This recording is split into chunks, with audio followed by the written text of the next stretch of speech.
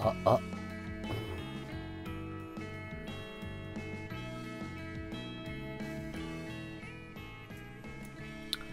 ああああ。こんばんは。音聞こえますか？えー、今日はですね、えー、2019年の9月の2日ですね、えー、1時36分です。よろしくお願いします。どうも。こんばんは。音声映像問題なかったら教えてください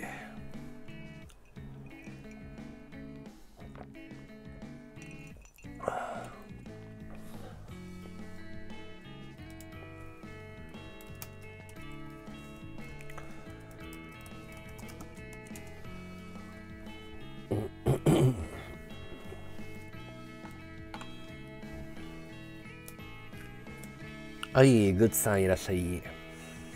はい、ワドツ。風呂書いてもありがとう。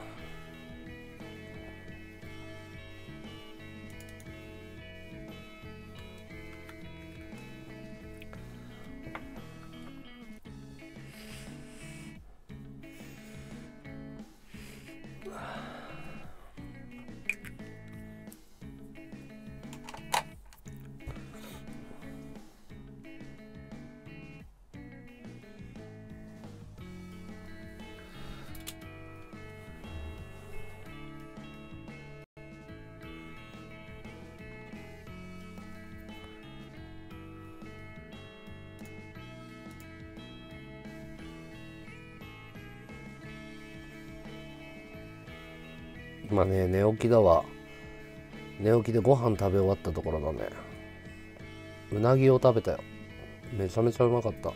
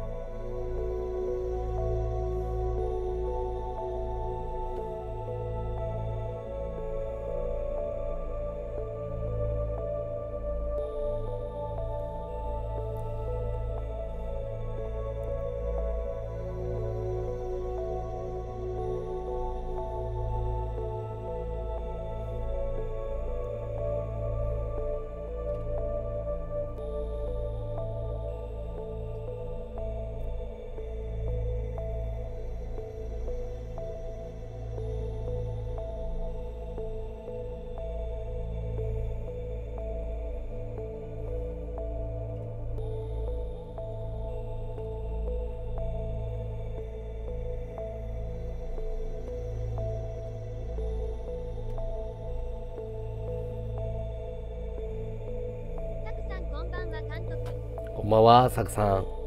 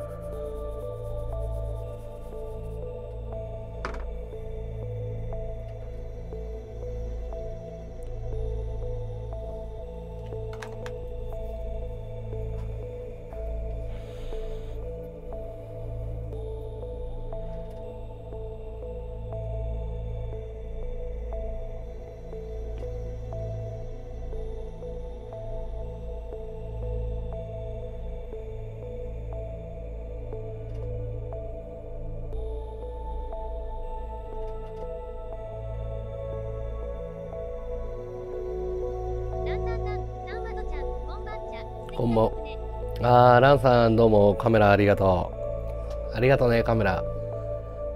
この曲いいでしょ？癒されるでしょ俺がね、瞑想するときに使ってる音楽ですね、これは。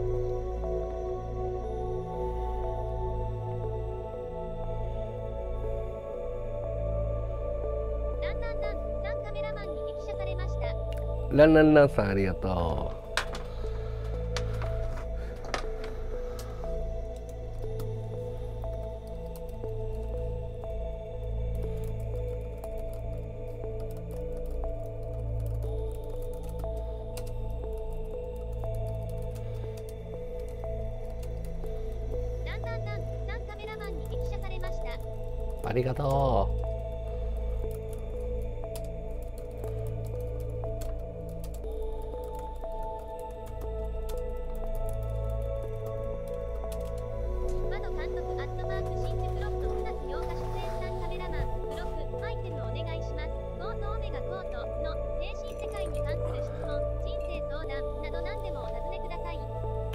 りがとう、ランさん。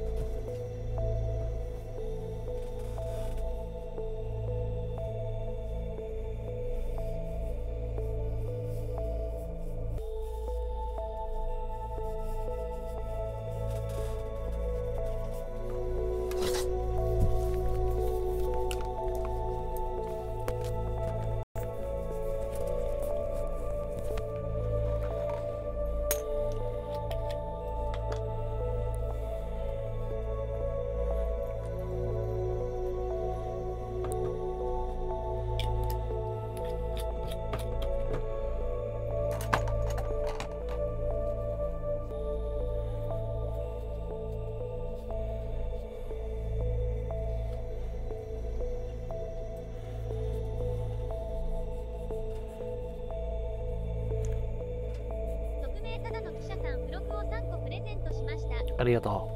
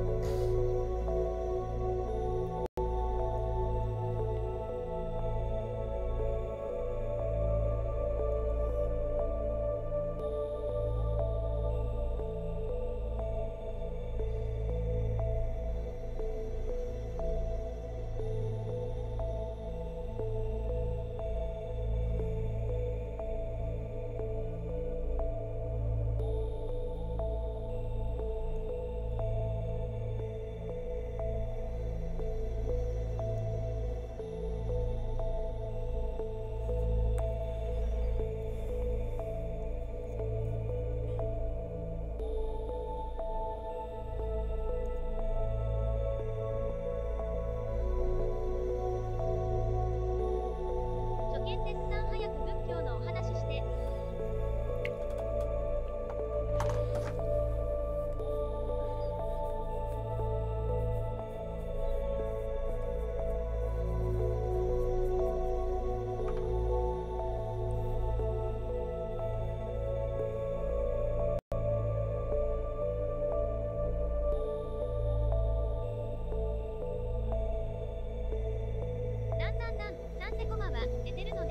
でこまで今ねベッドで漫画読んでるよ。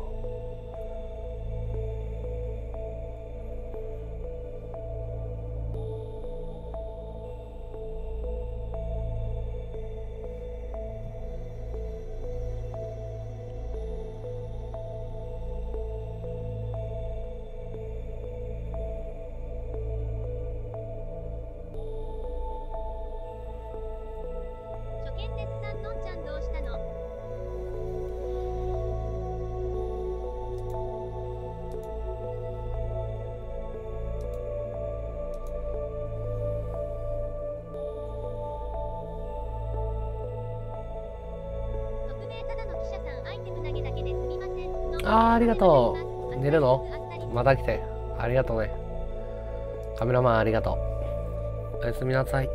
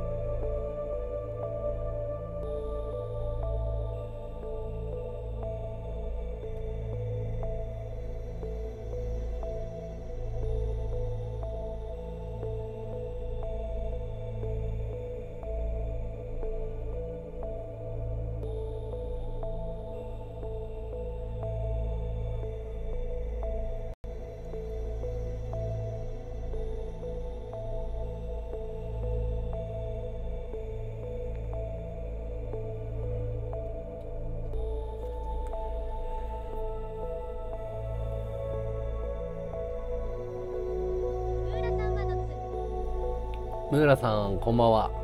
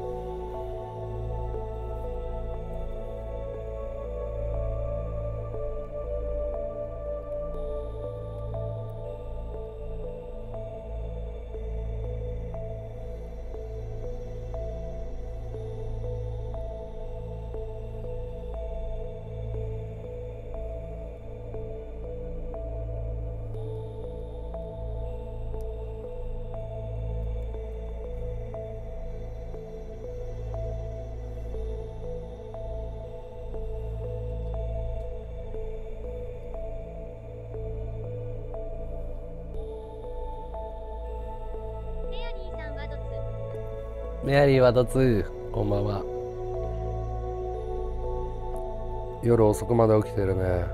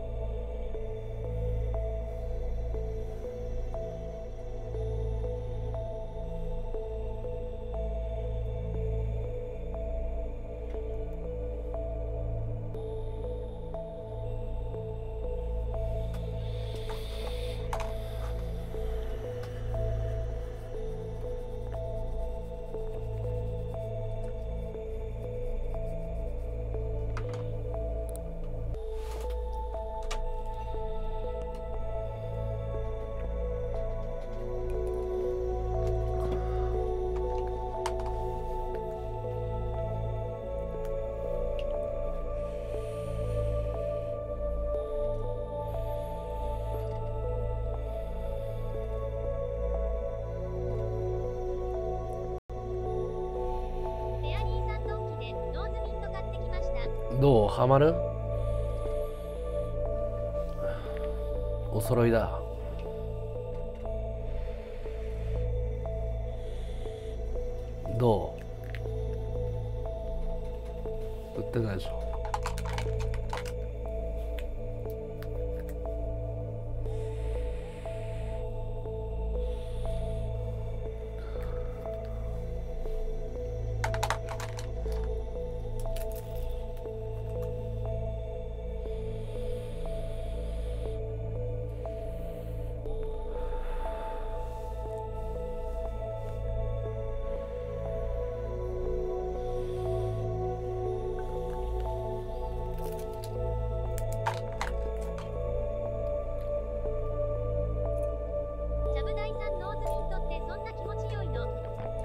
アロマだね簡単に言うと。ミントミント系の。気持ちいいですハマるよね。あのアロマ好きな人は、うん、携帯アロマみたいな。すげえハマるね。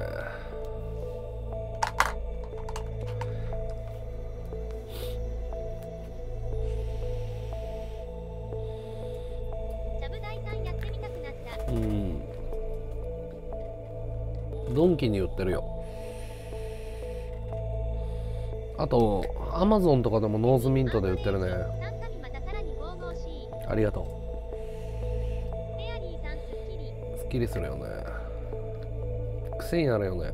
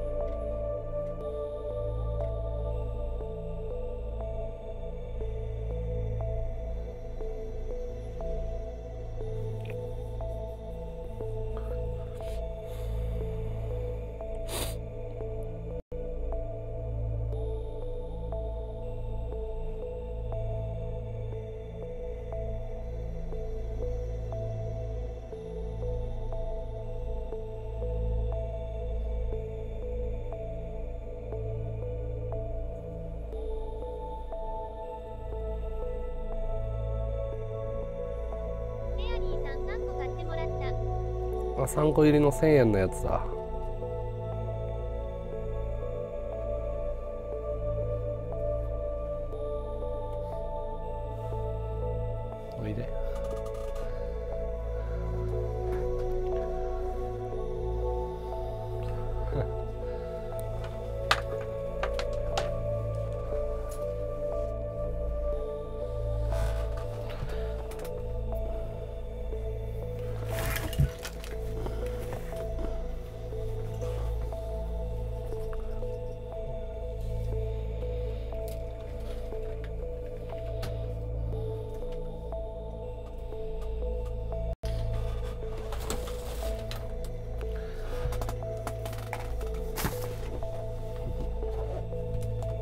泣いてんの。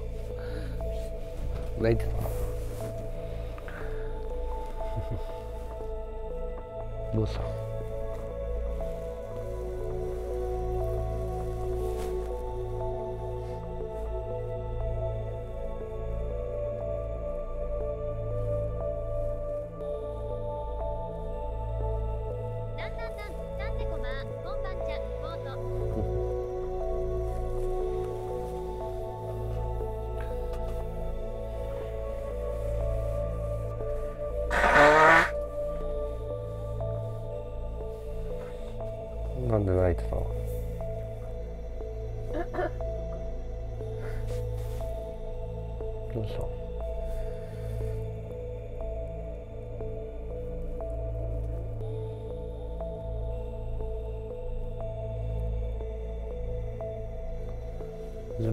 ってること言葉にするの大事だよ。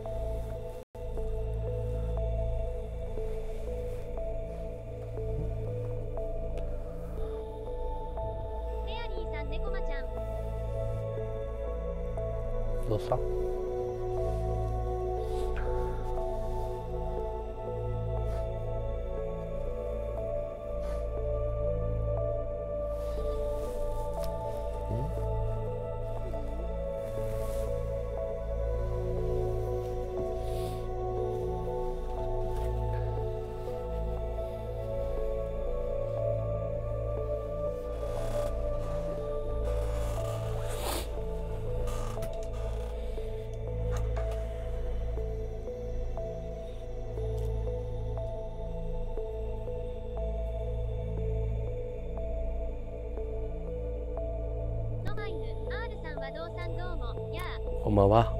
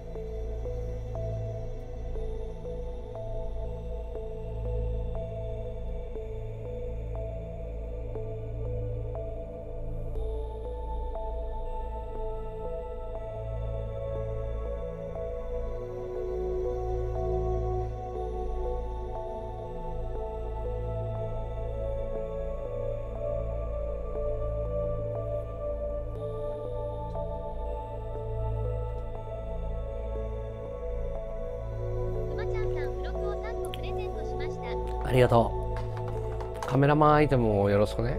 あー、フンボルトペンギンありがとう、ナンさん。イベント、あの、上位狙ってるんで、カメラマンアイテム、皆さんよろしくお願いします。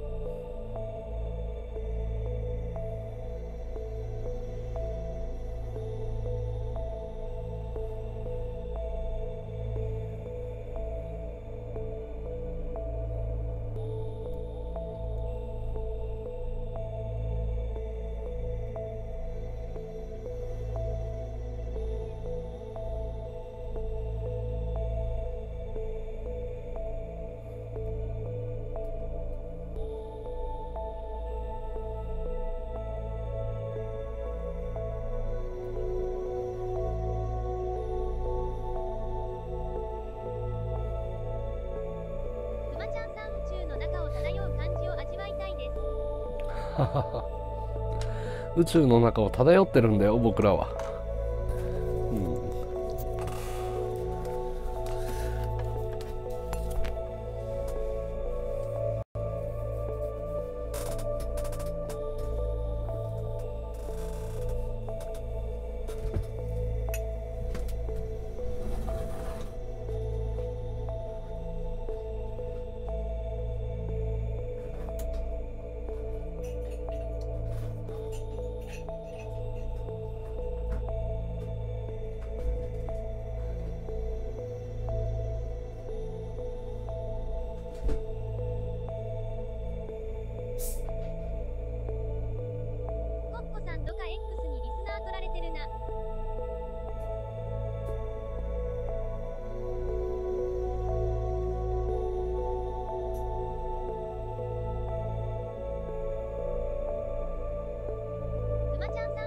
世界って本当に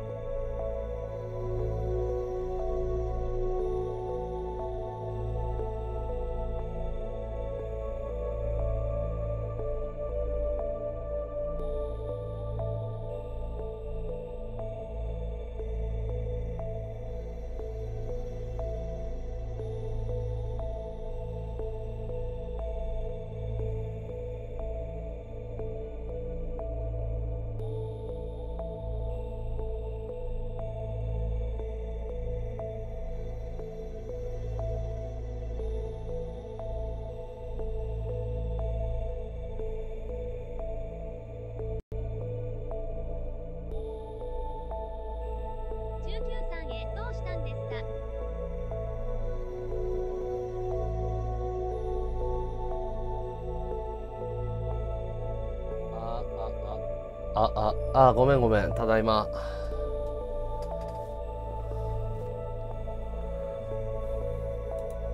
猫間がねずっとここ最近泣いてたんだよ。でどうしたの？って言ったらまた過食嘔吐しちゃってたんだって。ストレスで。でごめんなさいごめんなさいって。辛かったみたいだね。ごめんごめん。みんなアイテムありがとう。あの無料アイテムあるんでもしよかったらあの付録アイテムとあとカメラマンアイテムいただけると嬉しいですね。皆さんお気持ちでいいのであのイベント頑張るんでカメラアイテムよろしくお願いします、うん。変わってるかな？ごめんねみんな。19さん10倍付録をプレゼントあありがとうありがとう。匿名ただの記者さん付録を3個プレゼントしました。うありがとうみんな。過過食嘔吐治ってなかったんだってそれで辛くて泣いてたんだって。ここ最近変だなと思ったんだよ。なんか怒りっぽかったりとか。意味が分かったね。うん。だから今あのお話聞いてあのお風呂入っておいでって。多分お酒もいっぱい飲んでご飯いっぱい食べて吐いてるからむくんでるんだよね。半身浴しておいでって言って。女の子は大変だよな。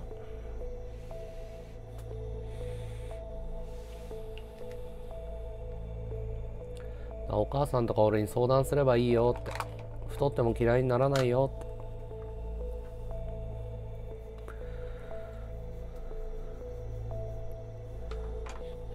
て。やっぱ自分を大切にしないとね。19さん初見初見？初見さんいらっしゃい。どうなってる感じっていうのは何がですかね？エジプトさん悟り開いたんですか？悟り？うーんまだ神様には会えていないですけどある程度なんだろう人の域は超えたかな。まだねまだまだ奥の深い世界ですね。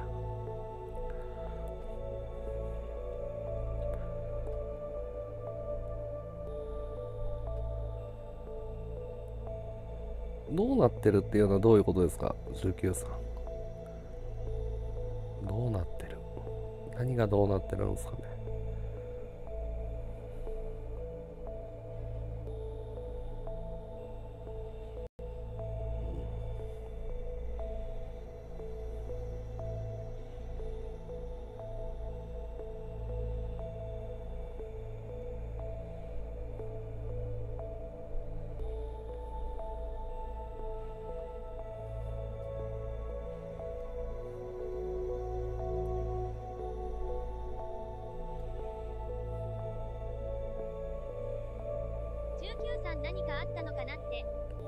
今説明した通りですねあの過食嘔吐が治ってなくて彼女が。それで苦しんで泣いてたんですね。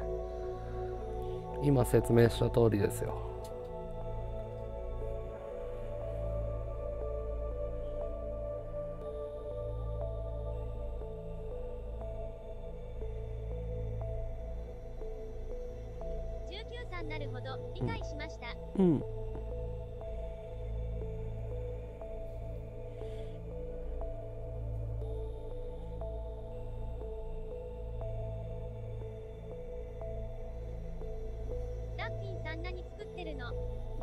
シルバーアートですね。僕の作品ですね。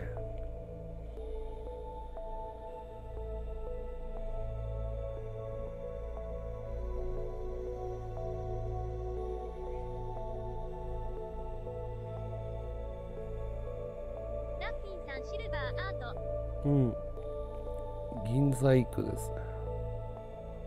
アート活動をやっていて個展に出そうと思ってます。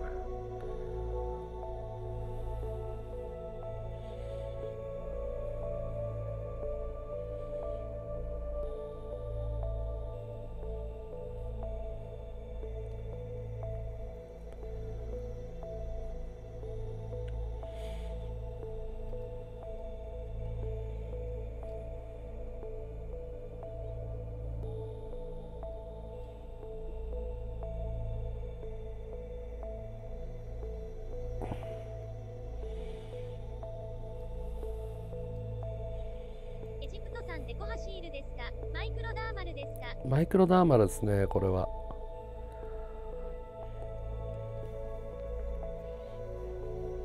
あの記念に入れたんですよ。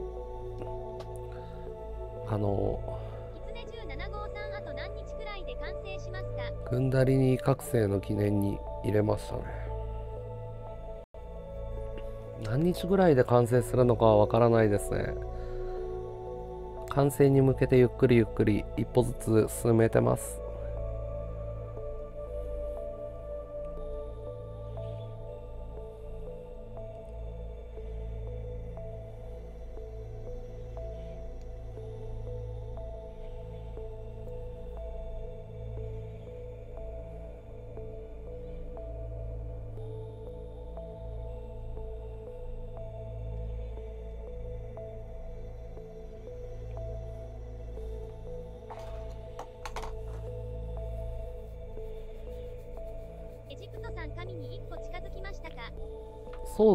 神というか神の前にまず精霊界があって第6層って呼ばれてる世界があるんですよ。でその第6層にある精霊をこう目視というか確認存在の確認をすることができたんでメロさんこんばんは。でその精霊の世界にコミットできるようになると今度は神の世界っていう完全な世界って言われてるもの第7層って呼ばれてる世界に行けるんでまずは第6層その精霊の世界に行きたいなって天使の世界に行きたいなと思ってますね。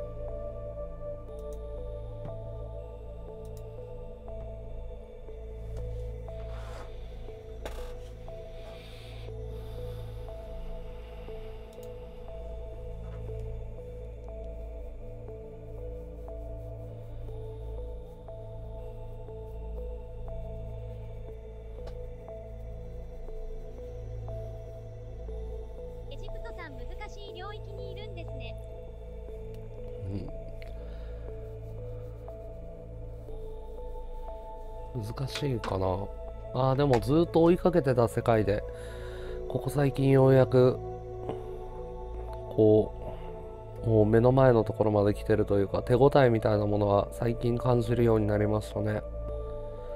今まではなんだろう神様はいないと思ってたし運命っていうものはないと思ってたし。でもだんだん最近分かってきましたね。世界のことが。キツネ17号さん今見ている星が実際に現在存在しない場合もありますよね。あるね。届くまで時差があるんですよね。そうだね。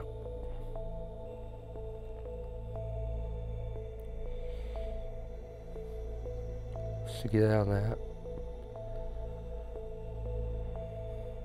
なんか最近発表された17号さん不思議です。最近発表された論文だと前の宇宙の痕跡が出てきたみたいだね。ビッグバンの前の。あ面白いよね。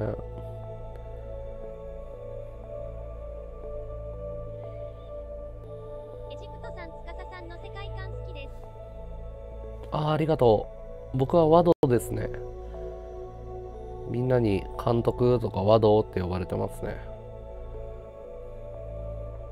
よろしく。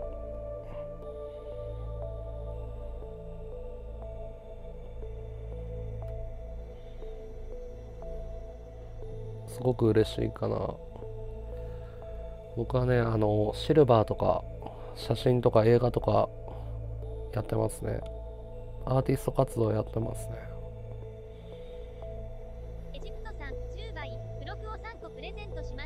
ありがとう風呂かありがとう。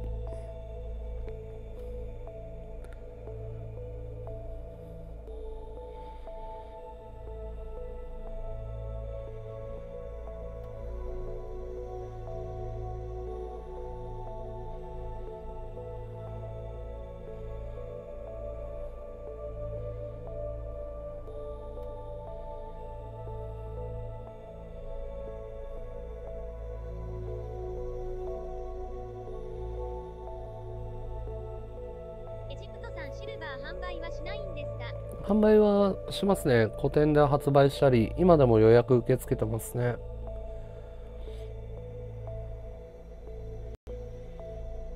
僕の作品手に入れたい方がいたらお譲りしますね。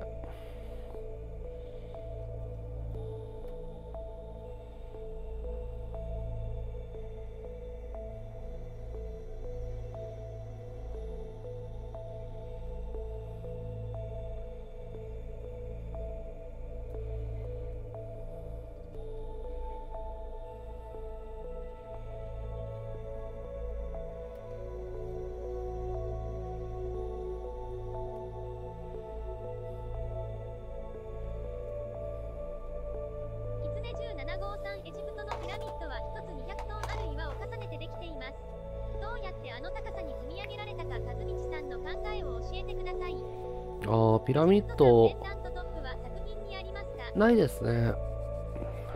ペンダントトップはないですね。エジプトのピラミッドをどうやって作ったのかっていうのは僕のちょっと想定の範囲なんていうんですかね。ちょっとよくわからないですけど。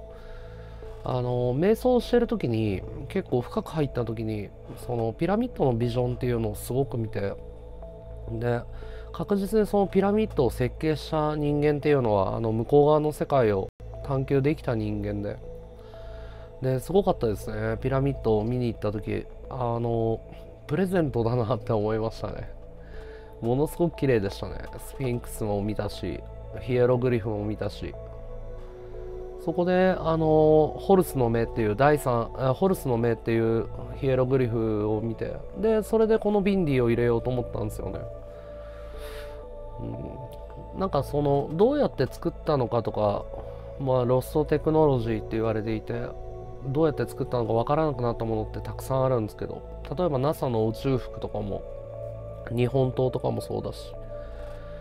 だその辺っていうのは僕は専門的な人間ではないんでわかんないですけど確実になんかこう向こう側を旅した人間の作品ですよね。あれは確実に建築物っていうかなんなんていうか作品ですね。本当アートですね。で間違いなくその僕らのために作ったものっていうかあの精神世界を探求してる人間のためのプレゼントなんだなっていうのがよく分かりましたね。それはピラミッドだけじゃなくてサグラダ・ファミリアもそうだしマチュピチュとか、まあ、シャングリラとかねいろんななんだろうそういう綺麗な世界を旅してきたんですけどすげえ綺麗でしたね。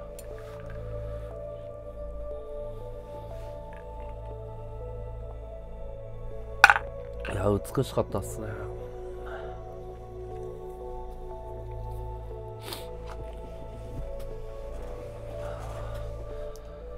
圧倒的ですよね。あーでもね日本のお寺も何個かビジョンでこう探索していったんだよな。すげえ綺麗だった。なキツネ17号さん瞑想の世界に入ったのですかああそうですね。ずっと瞑想してますねここ最近で3月のいくつだっけ3月の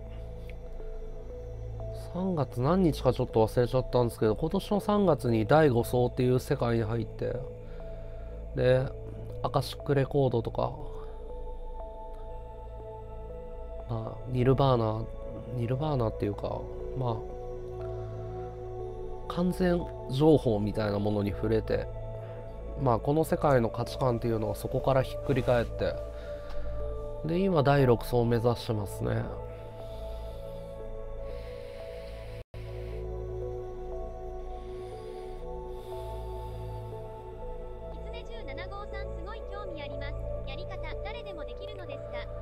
誰でもできるか？どうかで言ったら選ばれてるか選ばれてないかだと思いますね。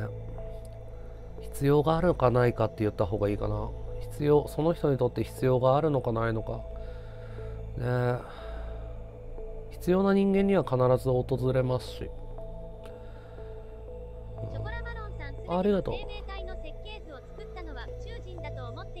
ああ俺はね俺もそう考えてた時期があったんだけどもっともっとどうやら深いなって思い始めましたねていうかおそらくなんだけどこの世界の俺らが生きてる世界っていう第4層の世界っていうのは多分ねあのゲームみたいなものでマトリックスみたいなもので。例えば最近その科学が証明された領域で言うと脳細胞が死んだり心臓が止まってる状態なのにあの意識はどうやら残るっていうことが科学的に完全に証明されちゃったんですよね。だから脳みその実は電気信号だと思っていた意識って呼ばれてる領域が実はそういうものではなかったっていう。あともっと面白いのが、えー、と遺伝っていうのに記憶は引き継がれないと思っていたんですけど親のトラウマとか強いトラウマとかって実は子供に完全に遺伝されるっていうのがよく解明されてきたんですよねここ最近。だから多分その魂の存在みたいなのがここ最近証明されつつあるっていうのがなんか時代の転換期が来てるなって思いますね。なんか東洋思想。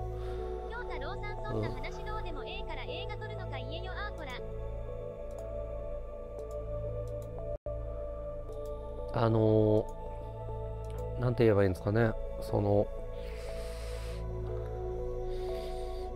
今まで東洋思想とかが追求していた魂の存在とかオカルトだと思われていたものが実は現実味を帯びてきたというか。なんかその辺すごいなと思ってますね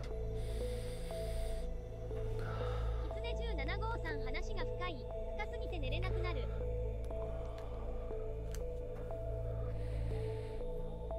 でまあそのやり方は誰にでもできるのかってあー、なおちゃんいらっしゃい。この前ありがとうね。もしよかったらね、皆さんカメラアイテムいただけると嬉しいので、あの、少しでもいいんでカメラアイテム、あの、お布施していただけると嬉しいですね。で、えーまあ、えーと、いろんなテクニックがあるんですね。仙道でいうところのタオであったりとか、まあ、仏教でいう瞑想、キリスト教でいう祈り、日本でいう神道だと祈祷とか、あと、まあ、ヒーリングとか、いろんな呼ばちゃんあーありがとう27回激写されましたありがとう、カメラ27個ありがとう。で、そういった呼ばれ、そういうふうに呼ばれている、その技術みたいなものが、だんだんその呼び名が違うだけで、実はね、あの、ゴータマ・ブッダも、イエス・キリストも、ムハンマドも、同じ世界を見てきたんだなっていうのが、だんだんよく分かってきてます。いや、分かってきていて。でその第7層の神の世界みたいなものに触れるっていうのがあと少しだなと思っていて今ずっとその第6層の天使に天使の世界に入るっていうことと第7層にある神の世界、まあ、みんなが想像してる神とはまた別の世界なんだけれども、うんまあ日本でいうとこの日本は神道とか仏教を融合していてもともとの神道はアミニズムっていうああ、みくるさんありがとう。アミニズムっていうんだけど、精霊信仰っていうのがあるんだけど、インディアンとかもそうだし、もともと多分ね、日本人、もともとはね、第6層の世界とかを行き来してたと思うんだよね。例えば、卑弥呼って呼ばれてる、祈祷、祈祷って呼ばれてるものがあるんだけど、そういうシャーマニズムみたいなものっていうのに、すごく近いんじゃないかなっていう、今体感してるものっていうのが。うんなんかそういう精神世界の探求っていうのをずっとやってますねここ5ヶ月ぐらいはそれとアートを結びつけてその向こう側にあった世界っていうのの世界観をこっちが第4層まで落とし込むっていうのをずっとやってますね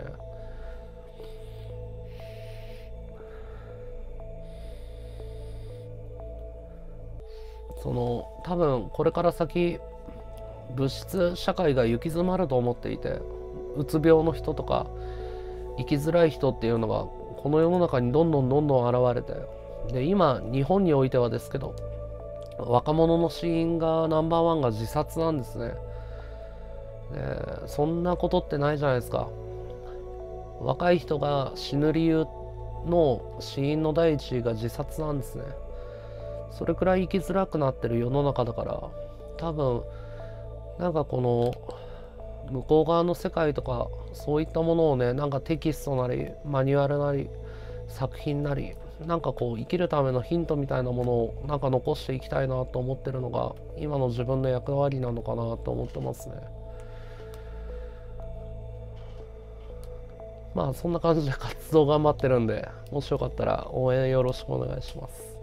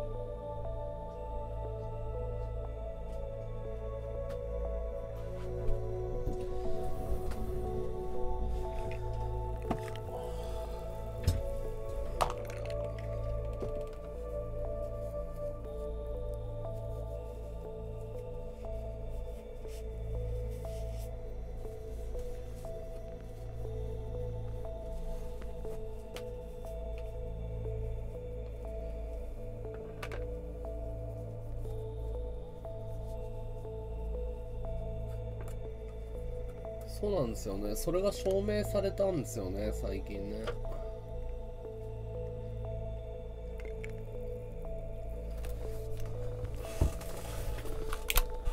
そうなんですよね。だからもしなんかみんなが悩んでいてもしお力になれることがあったら何でもシェアしたいと思ってるんで。なんかこの辺どうなってるんだろうなとかまあ自分が答えられる範囲であったらなんかシェアしていきたいなって思ってますね。何でも聞いていただいてなんか自由になんかいろんな体験とかシェアできたらいいですね。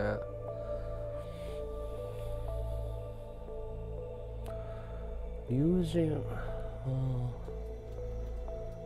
神ああまあ多分精霊に近い六層に近いものでしょうね。あのあのまあ六層六層の世界のものだろうね、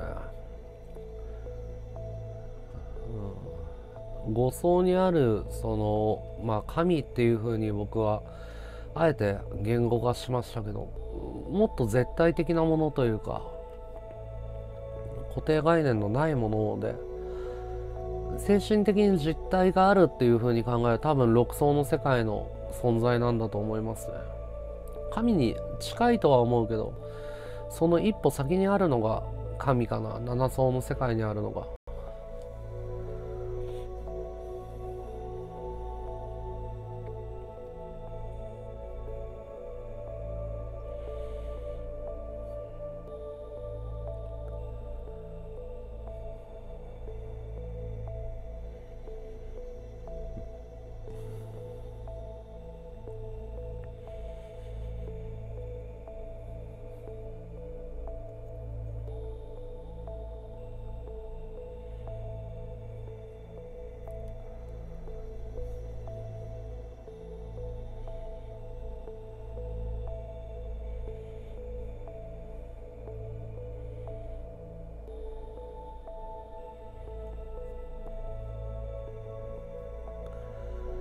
かここ数ヶ月間ぐらいでなんか自分が正しいと思ってたことみたいなものがほとんどがひっくり返ってしまって。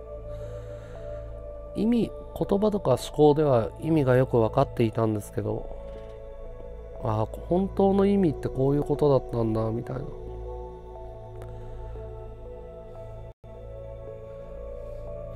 なんかそういう不思議な体験をしてますね。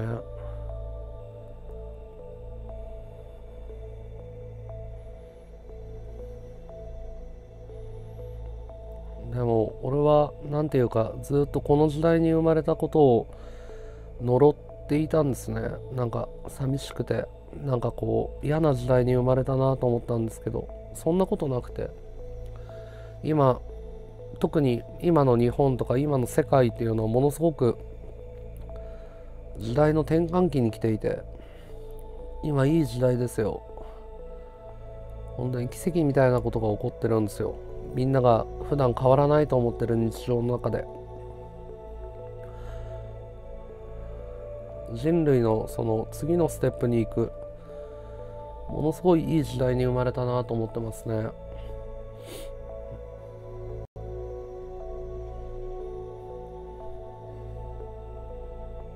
うんこの時代に生まれてよかったな。奇跡だよね。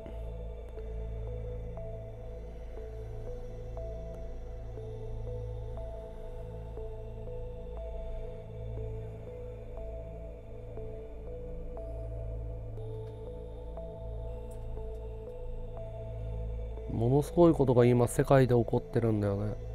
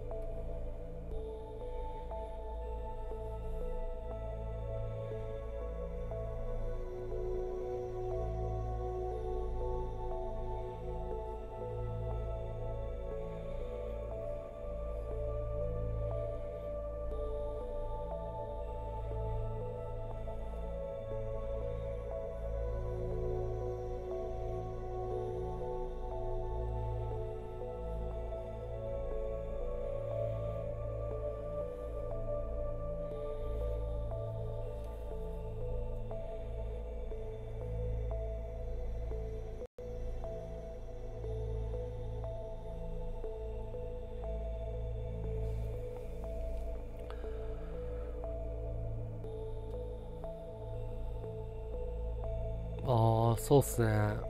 うん。全て決まってるんでしょうね多分ね。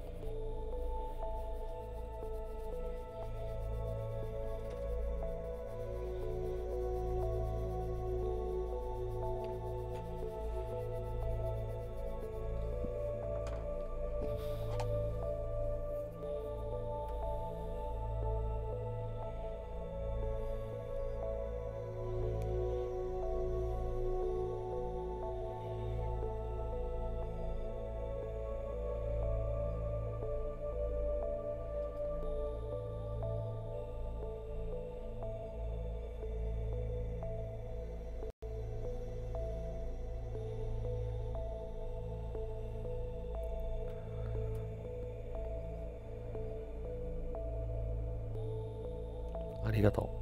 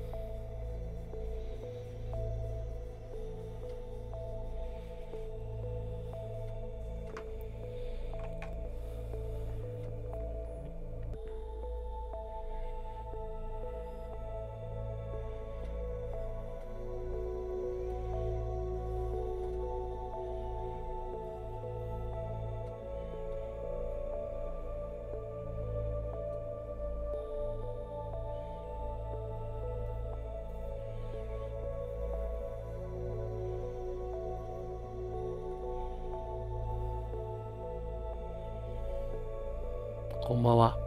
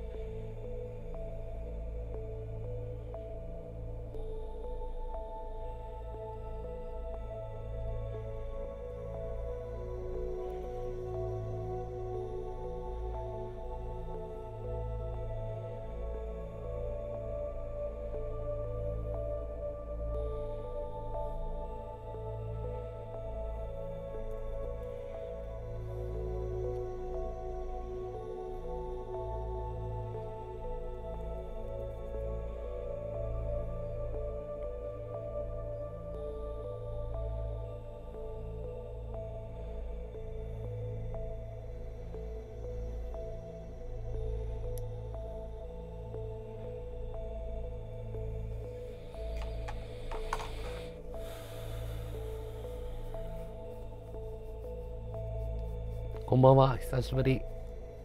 お帰りなさい。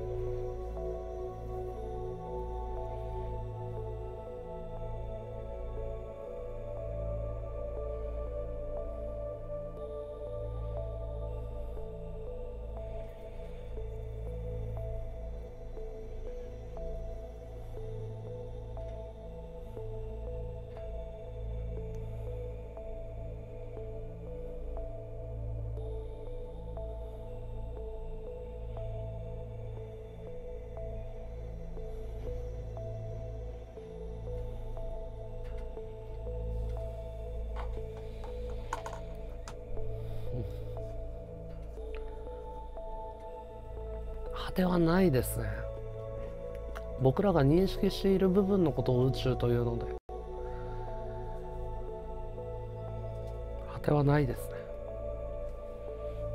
人によって宇宙の大きさっていうのは違うんですよ。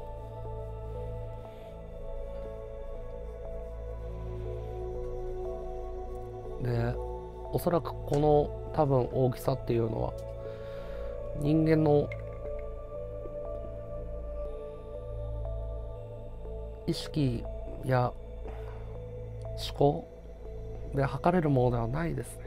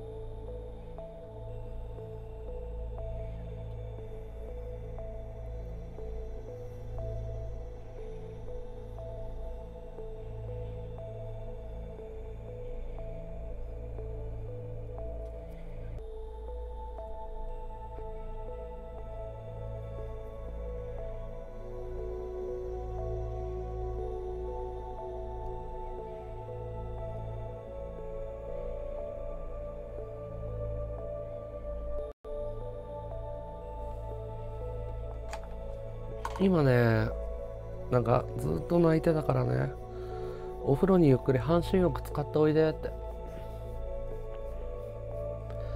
今お風呂にゆっくり入ってもらってるね。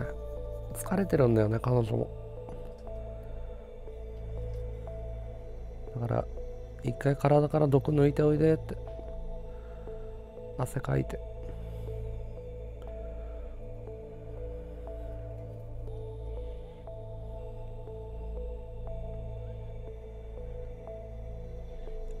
さっきずっと泣いてたね。辛かったみたいだね。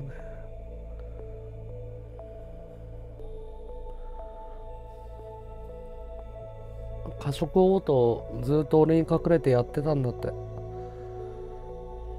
でごめんなさいごめんなさいって泣いてたね。過食嘔吐するとねあのセロトニンがあの足りなくなってうつ病になっちゃうのね。でメンタルが情緒不安定なの。で最近なんか怒りっぽかったりとかしたのはあそれが原因だったんだって。でそれが辛かったみたいなかなか言えなくて。だから泣きながらごめんなさいごめんなさいってずっと言ってたからどうしたのって。過食ごとまた始まっちゃって治ってないって。辛かったろうね。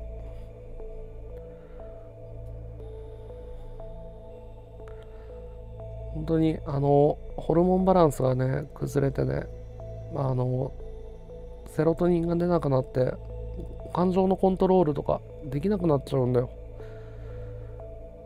本人もそれは分かってるから。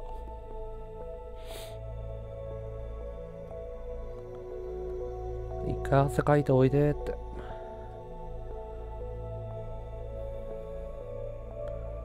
デトックスだね。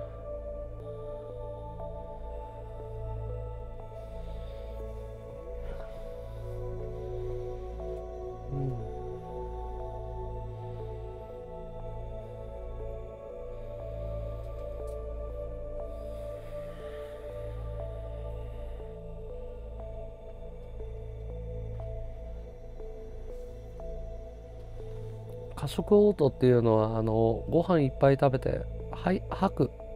要は自分であの嘔吐することだね。で嘔吐するとねあの嘔吐するっていうことがセロトニンが過剰に減っちゃうのね。感情のコントロールができなくなる。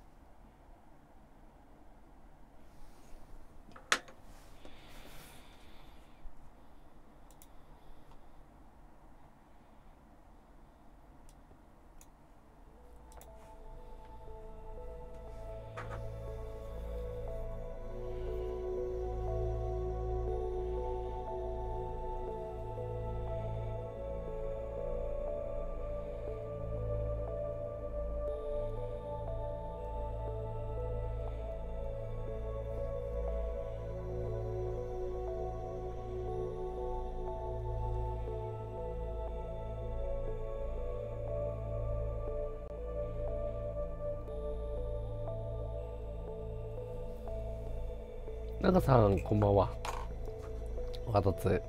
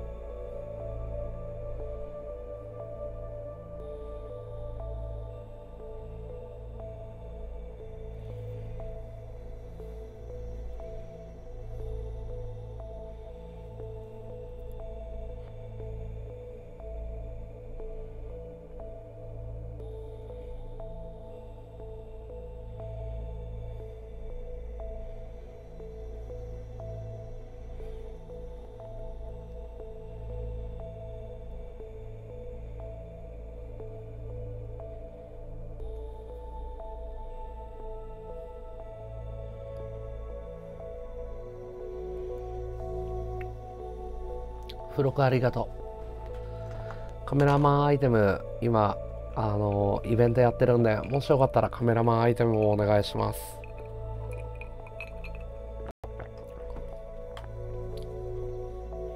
今何位ぐらいイベント？何位って表示されてる？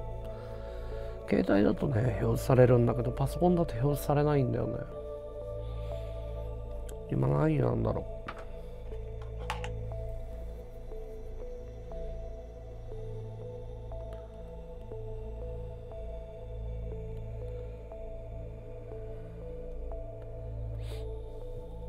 60位だ。ちょっと厳しいね。みんなで順位上げて。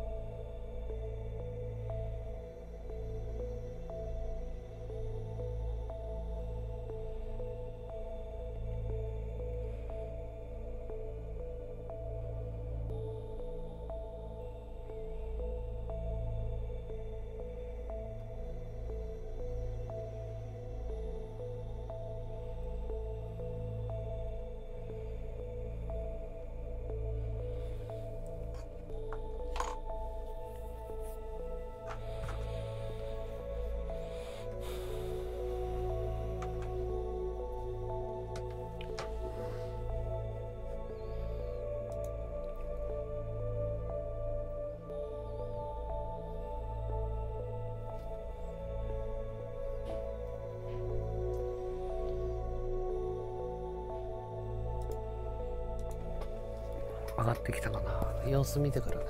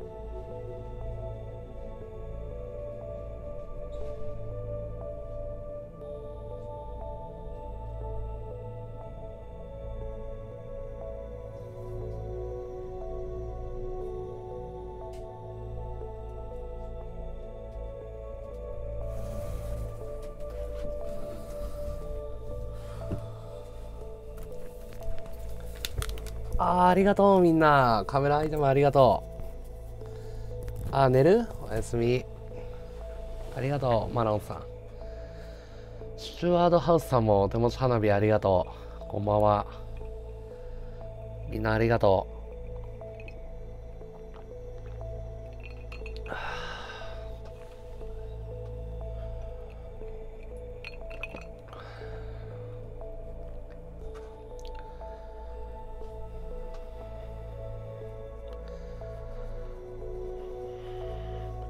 楽だよね。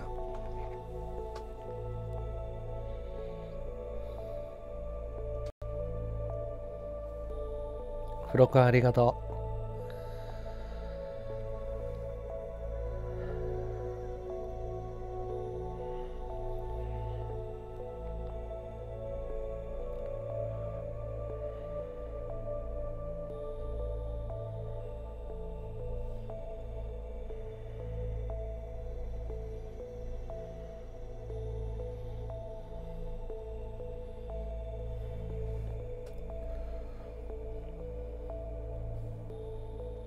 ミアリーありがとう。起きてたの？まだ。寝てなかった？みんな寝れない？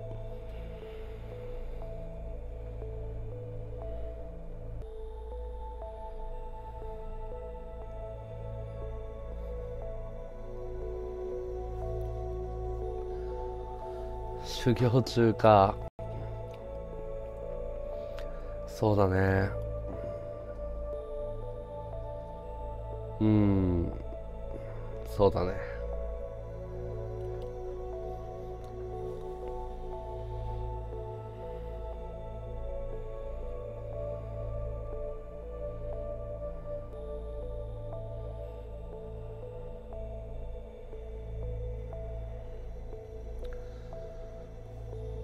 寝れないか。ゆっくり深呼吸して。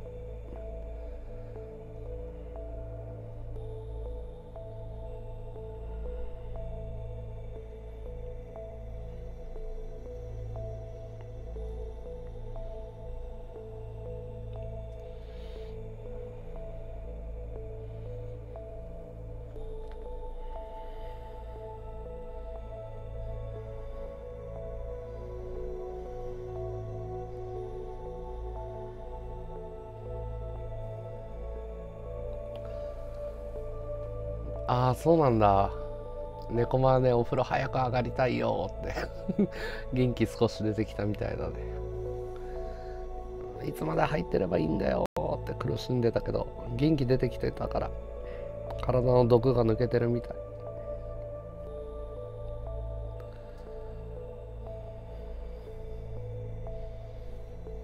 そうだね。生きてる間はずっと修行だね。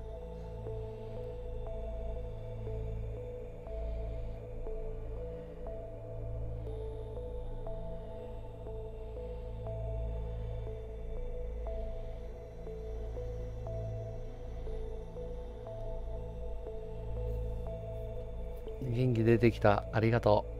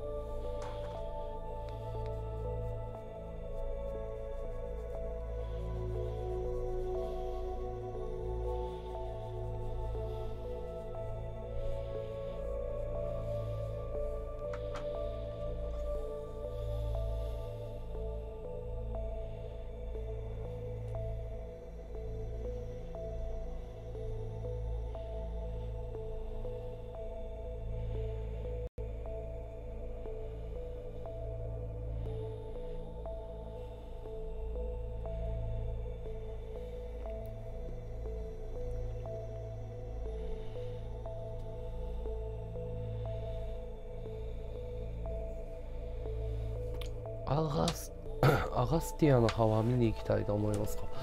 アガスティアの葉。検索しますね。インドの聖地アガスティアの予言を伝えられる葉。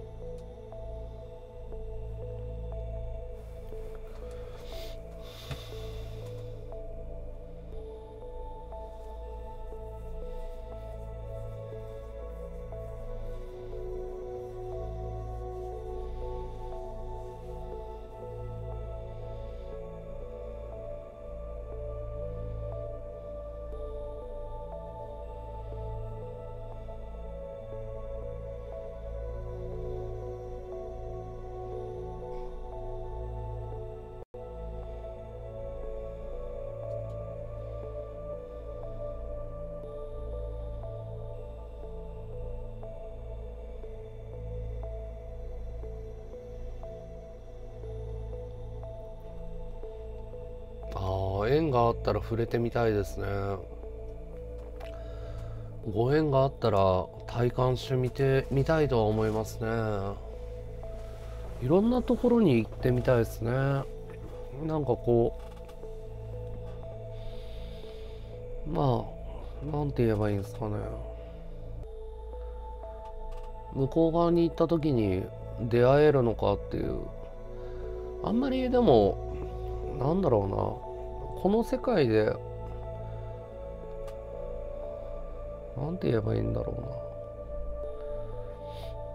な。新しいものを探そうとかそういう探求みたいなものっていうのはあんまり湧き起こらなくなりましたね。例えば昔だったら世界中旅したいっていう欲求があったんですけどああ全部あるんだって自分の心の中に全部あるんだっていうのが分かった瞬間にあまりそういうものに関心がなくなっちゃったりしたりとか。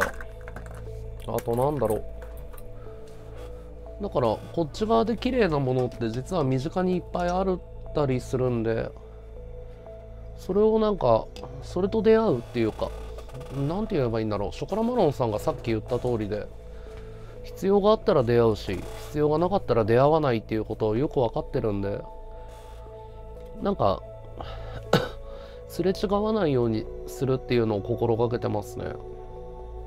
あの縁があったら必ず導かれるんで。で必要のないものとは出会わないっていう感じかな。まあでもなんか新しいそういう出会いがあったら触れてはみたいですね。言ってる意味わかります？マロンさん。まあマロンさんだったら分かってくれるんじゃないかな。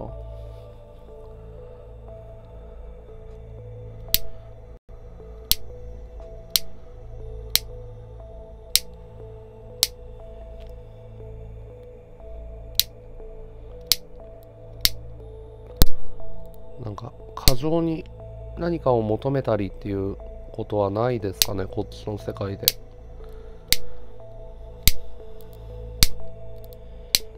無理をしようとかじゃなくて目の前にある大切なものをこう大切にしていきたいですね。でその上で余裕が出てきたりご縁があったりして世界の拡張が行えるのであればそうしていきたいですけど。特に何か はい。自分の運命を受け入れようと思ってますね。ありがとう。でもなんだろう。そういうやっぱ本物本物っていう言い方が多分正しいと思うんだけど本物とは出会っていきたいですね。偽物が多いですからね。この世の中は。偽物と本物が区別はつくとは思ってるんで一応。どれが本物でどれが偽物かはすぐ分かりますね。でわざわざ言ってね偽物だったりすることもよくある話じゃないですか。そういう時間にはそういう時間は僕には残されてないですね。でもし僕が本物で向こうが本物だったら必ず出会うので。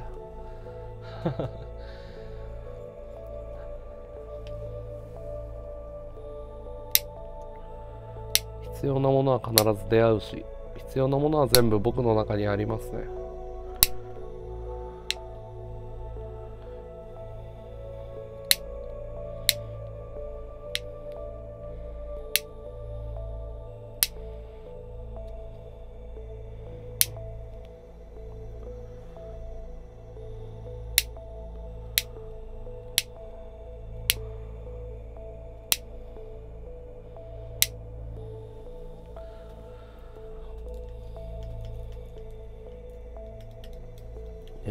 思いますよ。こう目が覚めてからああこんなに多くの人が僕より先に目が覚めていたんだっていうことがよくわかるわけですよ。で不思議なことにああそうなることは予見してたよってみんな言うんですよね。和道がおそらくこうなるだろうっていうことは俺らには分かってたとか私には分かってたよって。ただそのタイミングがいつかっていうのは分からなかったけど。和道はこっちに来ると思ってたよって。その意味もねあの蓋を開けてみたらよく意味がわかるというか。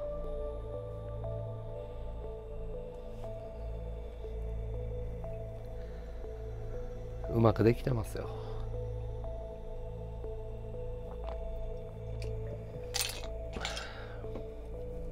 うまくできてる。ただね自分の役割というかね自分が何をやっていくのかっていうのは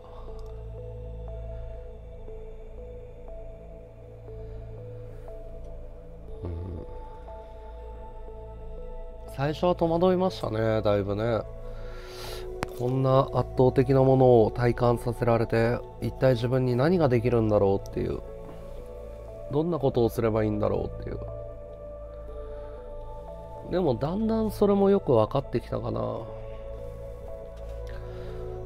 自分がやるべきことをやればいいんだなっていう。ね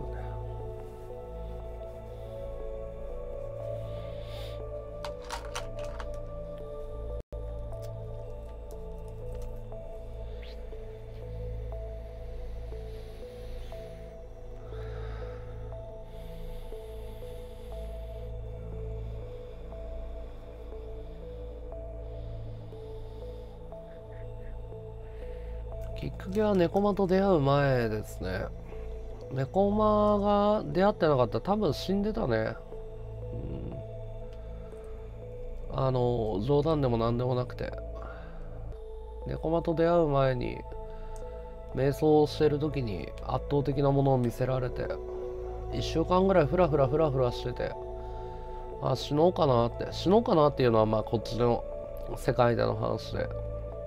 あもうゲームクリアしたなと思って。でまあもうこっち側に未練ないなっていうもう欲しいもの手に入ったなと思って。でどうしようかなって思ってる時に猫間と出会ったんだよね。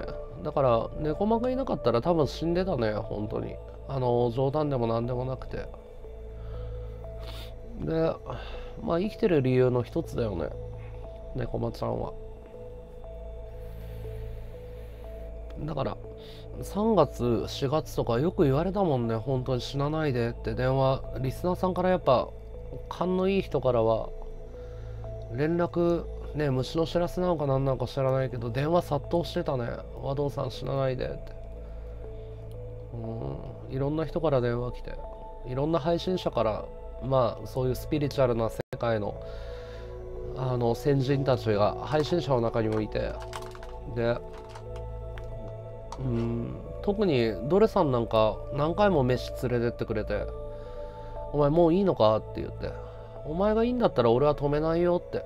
でもあと3ヶ月生きてみないかっていう。うん。飯何回も連れてってくれたねドルさん心配してくれて。でドルさんにももうはっきりもう俺はいいやって言って。もうあの死のうと思うっていう話をしてて本当にそうかって言って。まあお前がそれで幸せならいいんじゃないかっていう。でその上でまあ俺から一個ねやっぱり話ができる俺にとっては友達みたいなもんだから寂しいからって。できればね生きててほしいんだよなって言ってドレさんがね。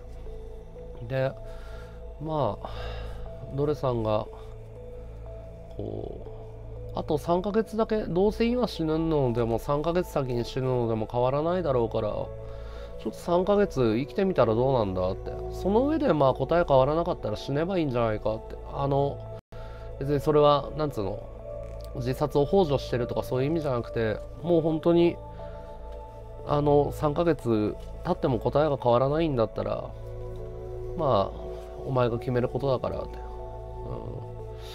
うん、まあそんな感じだったね。だからきっかけは猫間っていうよりも生きてる理由が猫間かな。ニュアンスで言うなら。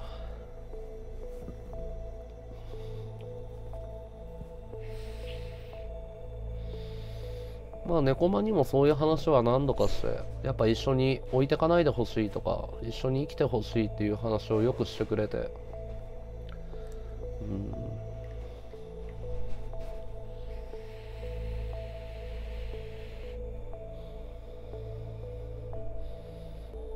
ここ数ヶ月はねずっと生きることと死ぬことばっかり考えてたかな。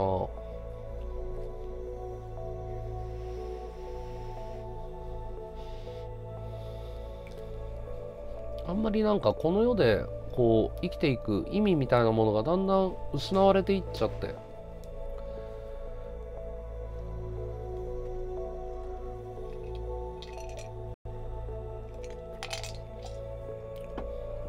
から正直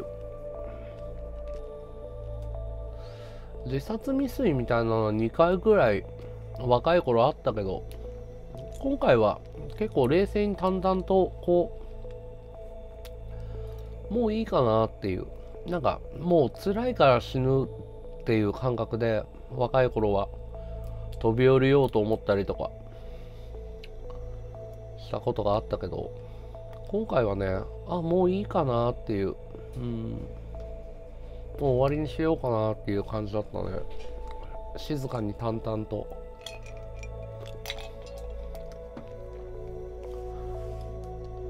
もうやることは全部でやったかなみたいな。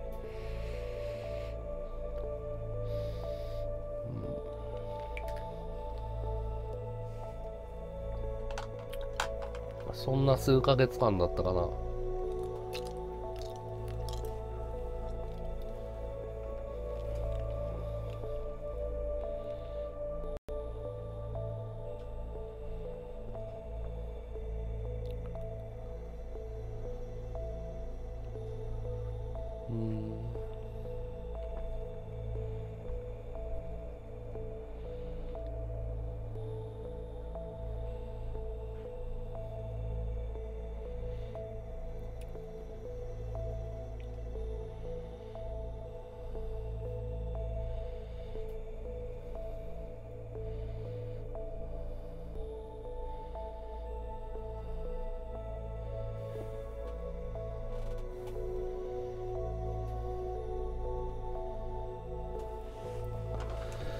がお風呂から上がったから。ちょっと見てくるね。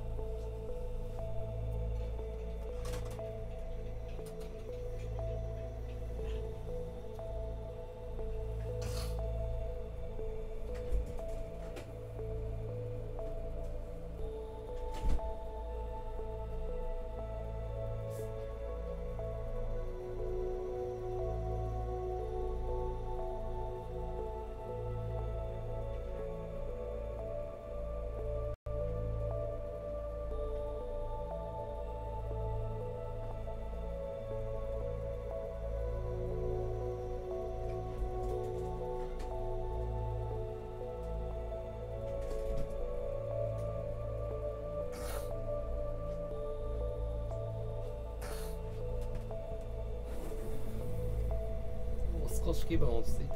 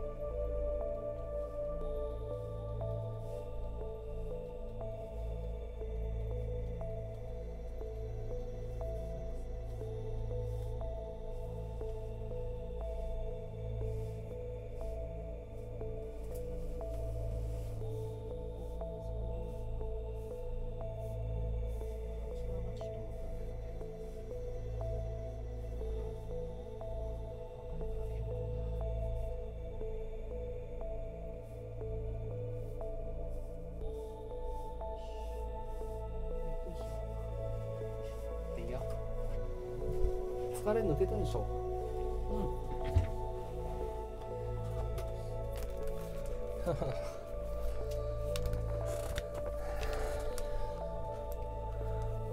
うん、うん。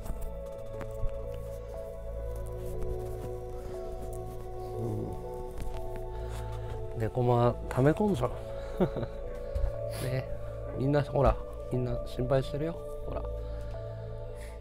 ねって。私もそういう時あったから大丈夫だよって。泣かないの。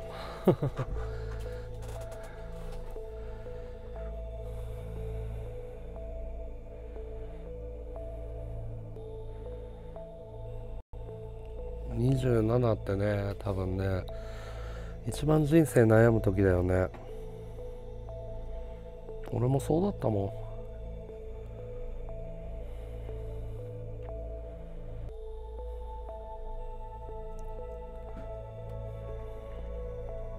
若い時はね勢いでなんとかなるけど。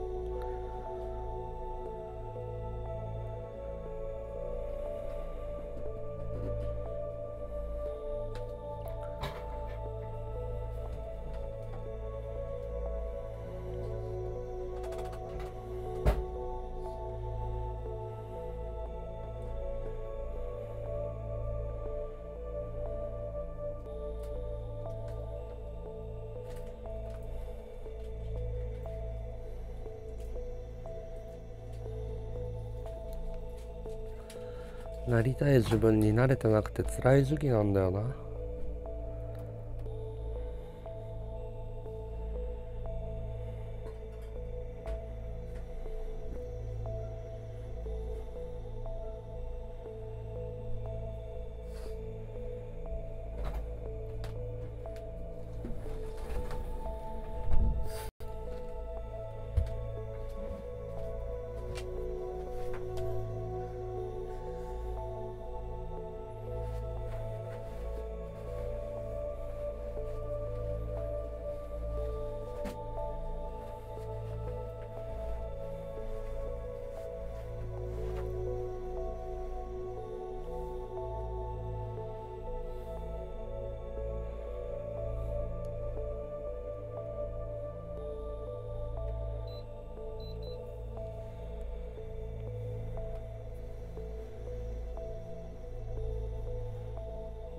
だけじゃないよ。みんな優しいよ。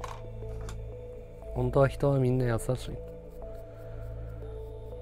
優しくない人なんかいない。みんな優しい。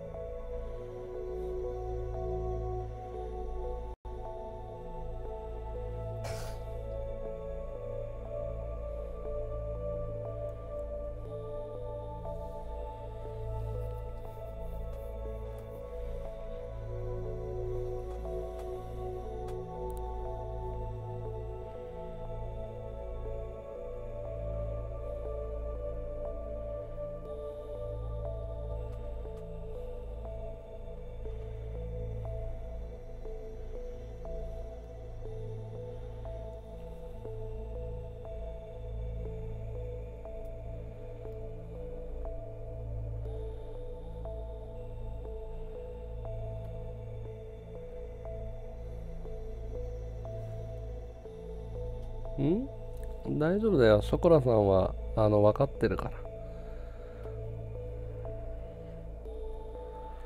聞きたかったらあのちゃんとショコラさん自分で聞いてくる人だか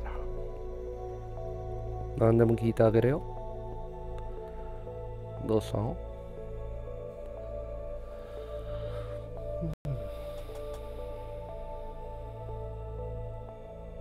うん、あのーじゃあまあ言うけど真っ黒い影でしょ。ショコラさん真っ黒いどす黒い影でしょ。うん黒い深い深い影ね、うん。だけどねそれを言ったところでね別に何かが解決するわけでもないしわかるよ。死神は。いやわかるよ、うん、だけどねだからなんだっていう話だからねみんなからすると。わかるわかる、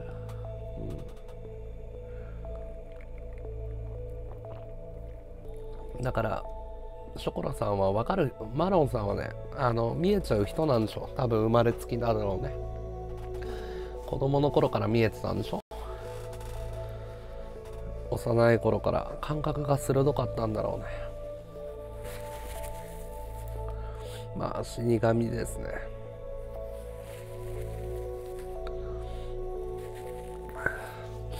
でもあのーご両親は殺されたわけではないからね。なんとなくわかると思うけどあの優しいところにいるから。ちゃんと天国みたいなところにいるからね。安心してそれは。それはね俺ら生きてる人間には死神って悪いものに見れる。生きてる人間にとってはねでもあの向こうの断りではあのちゃんと安らかな場所に行ってるから逆に正しいことなんだよ。恐ろしいものとか怖いものに見えるっていうのは生きようとする本能だから。でもあのお父さんとお母さんはね、うん、あの幸せなところにいるから大丈夫ですから。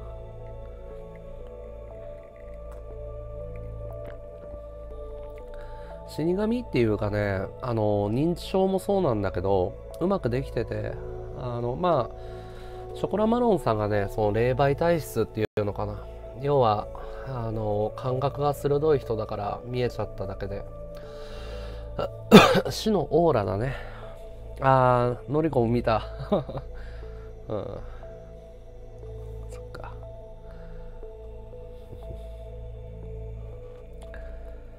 死神がいるっていうか死神というふうに捉えるかどうかだね、うん、でも大丈夫。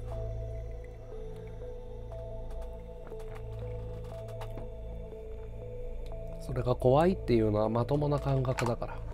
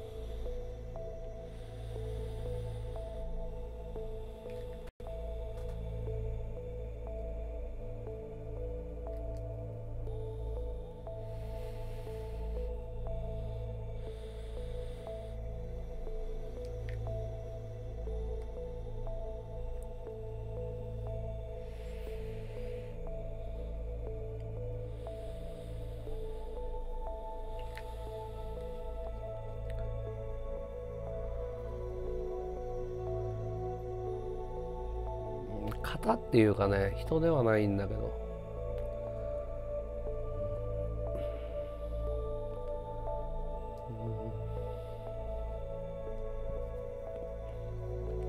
それはねあの予期せぬ死っていう風にお母さんが気遣ってくれたんだよ。お母さんはちゃんと分かってたから。だからあのマロンちゃんのそばに行ったんだよ。だから自分が死ぬってなるとマロンちゃんが不安になるから言わなかっただけでお母さんはちゃんと分かってた。自分の死ぬっていう時は、うん。うん、だからあの大丈夫だよ。お母さんが優しかっただけだから。マロンさんを不安にさせないように、うん、お母さんちゃんと分かってる。だ言えなかった優しいから。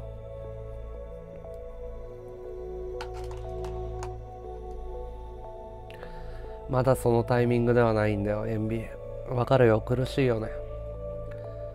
わかる。でもまだ MB は選ばれてない。まだ生きなければいけない。辛いけれども。でもその定めみたいなものはいつか気がつくから。なぜそういう風になってたのかっていうのはいつか答えが出る日が必ず来るから。焦らないで。焦っても余計苦しくなるだけだから。そうじゃなくて目を開いて心を開いて耳を開いて全てを開いてありのまま受け止めればいいよ。そうするとね少し楽になるから。そうするとだんだん見えてくる。そのこの世の断りみたいなものが。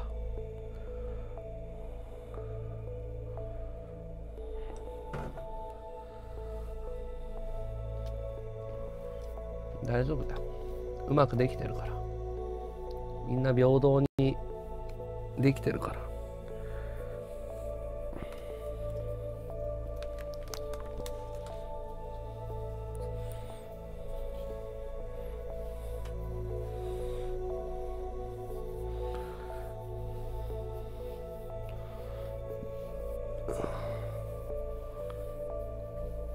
うん。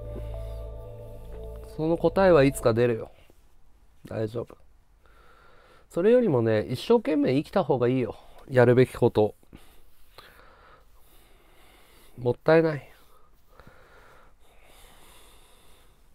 今自分に課せられたものをやった方がいい。全力で。その意味はいつかわかるから。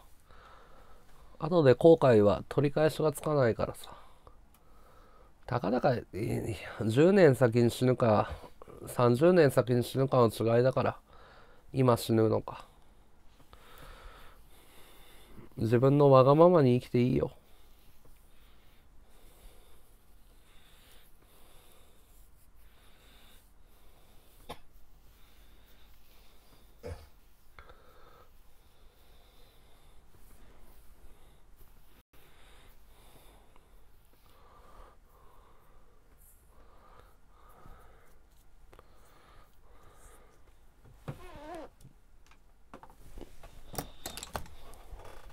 慢するからおかしくなる。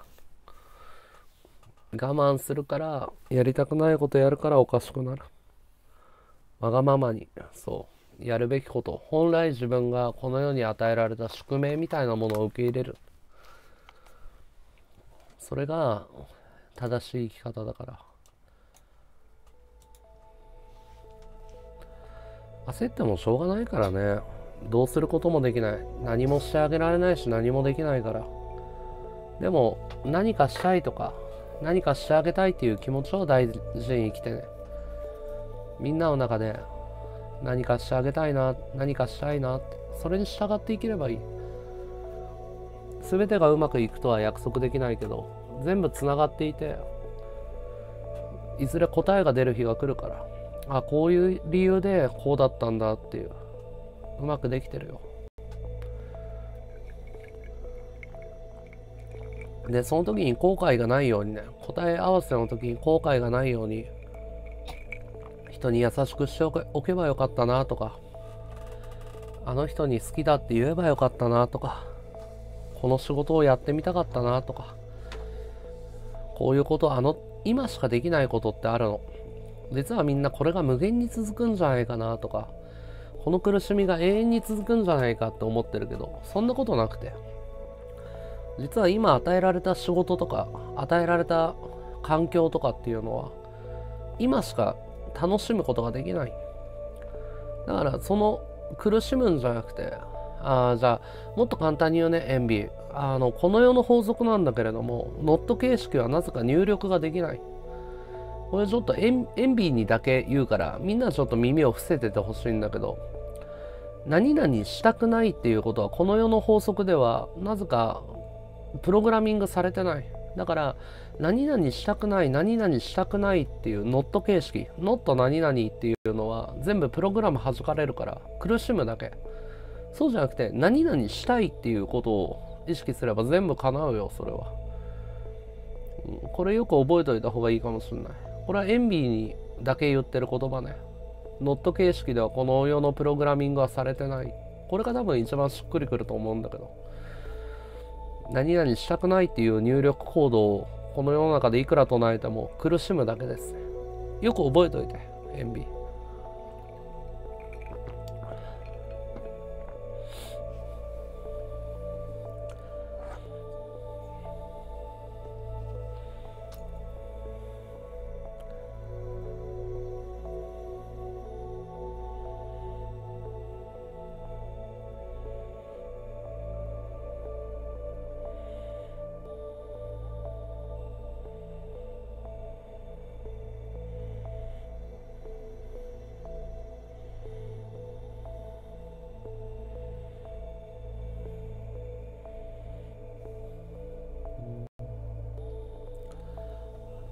やももっとシンプルなこと。もう偏見を一回取っ払ってよく聞いてほしいんだけど。この俺らが生きてる世界誰かが書いた高度な要は神様が作った世界があるんだけど何々したくないっていうことは叶わないってこと。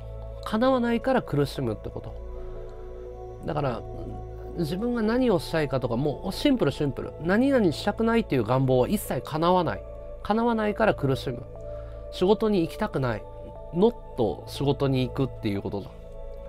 何々したくないっていう願望っていうのは叶わない。だから苦しむ。何々したくなくてもしなきゃいけないから。そうじゃなくて何々したいは全部叶う。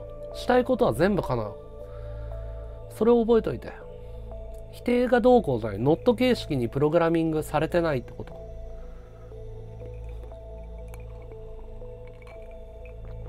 したくないことは全部しなければいけないっていうことね。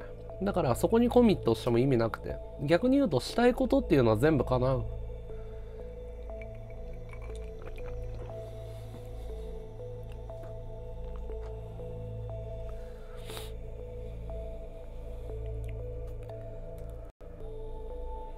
だからね多くの人はねしたいことを祈るんじゃなくてしたくないことを願っちゃうっていうことね。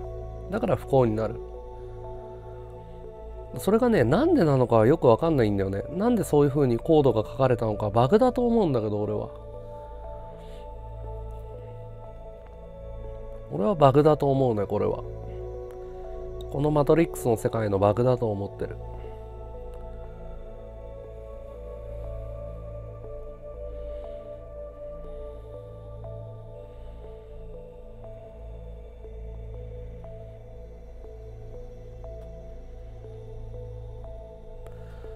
33年間でねたどり着いた真理を無料で教えるんだよ。エンビーちょっとカメラマンたまには投げてよ。すごくすごく 大事なことを真理のねすごく大事なことを話してるからね。お布施も大事だよ。何でもシェアするからさ。無料アイテムかよ。100円ぐらい投げてくれよ。いい話してるんだぜ実は。頼むぜ。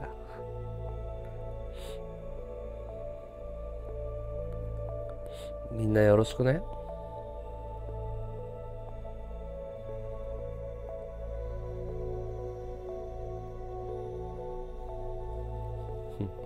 買ってきなさい、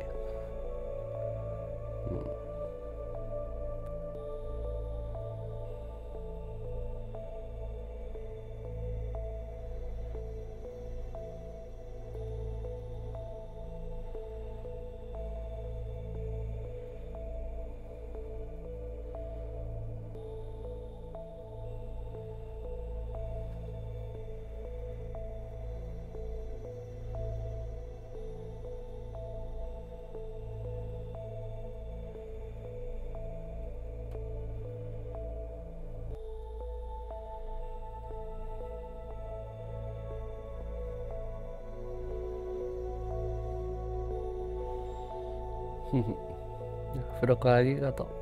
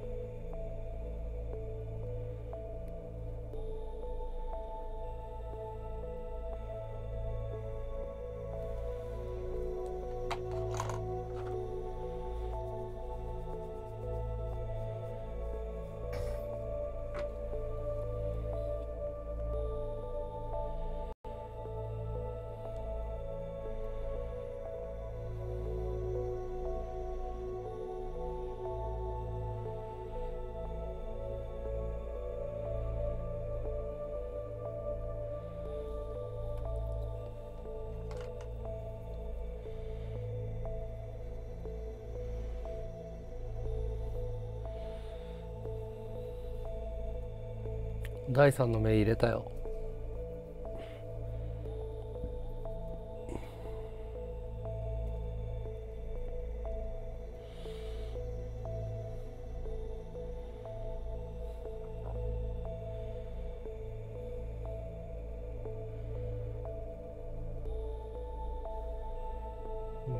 付箋ありがとう。付録ありがとう。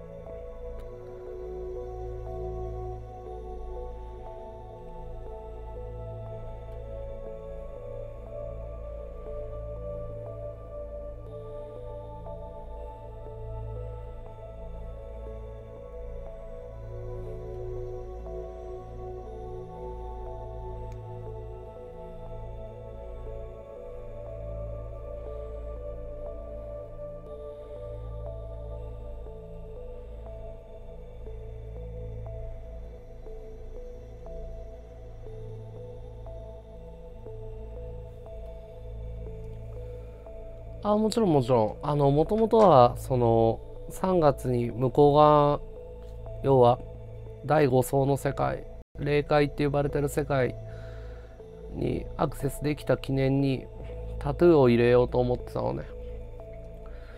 でまあトータル5回向こう側にダイブしたんだけど。でその時にねやっぱりタトゥーかどうしようかなって迷っていた時にあの佐藤さん親友の佐藤さんが結構ボディピアス詳しくて。でピアス和道さんも開けませんか？みたいにおそお誘いいた時にあおでこに入れようかなって。タトゥーじゃなくてピアスここに入れようかなって思ってて。でそしたら佐藤さんが予約取ってくれて完全予約制のボディピアス屋さんだから。でそこのスタジオでこの前開けてきた。もちろんその第三の目あの消化体って言われてる脳みその大人になるとカチカチに固まっちゃう古い脳みそがあって消化体って言うんだけどでそこがねそのチャクラを開く第6チャクラなんだけどそこが開くとねおでこがムズムズするんだよねちょうど今のこの位置なんだけど俺は消化体の位置開けたね、第3の目って言われてるやつ。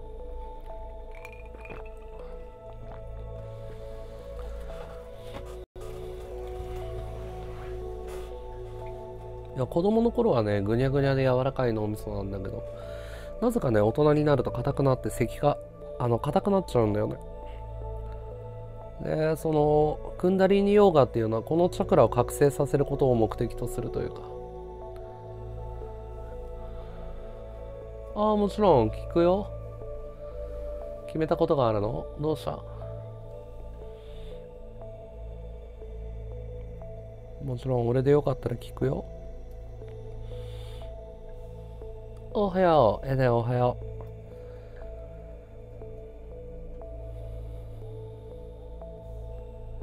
ありがとう。エデンちょっとさお願いがあるんだけどさ今回だけわがまま言ってもいい？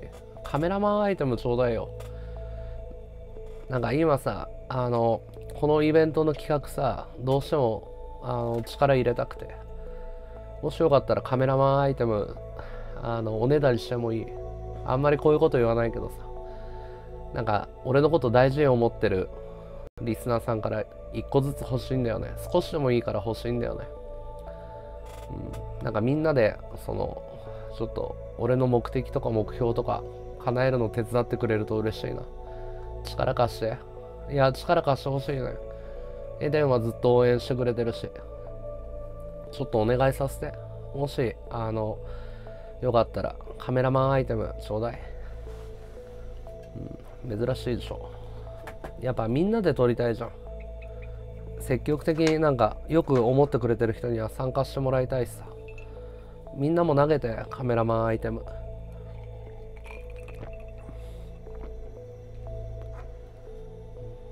よろしくね。力貸して。ありがとう。ブロカーありがとう。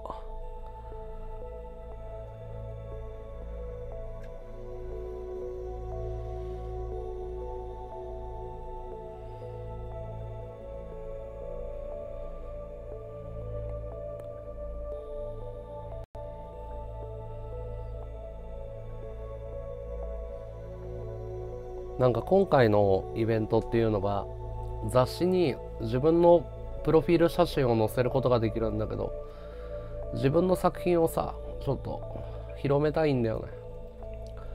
だプロフィール写真提出するの自分の作品提出しようと思ってて。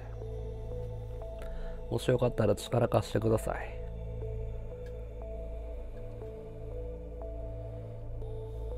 ありがとう !10 個もありがとう！頑張るね。ありがとうエデン。ありがとう。風呂かありがとう。匿名さん。ありがとう。頑張るね。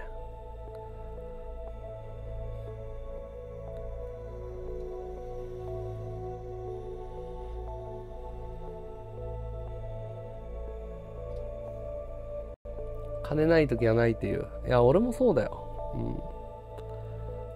ありがとう。10個もくれるとは気前いいね。エデンがうまくあーありがとうなおちゃん。あお弁当作りか。ありがとう10個もたくさんありがとう。うん。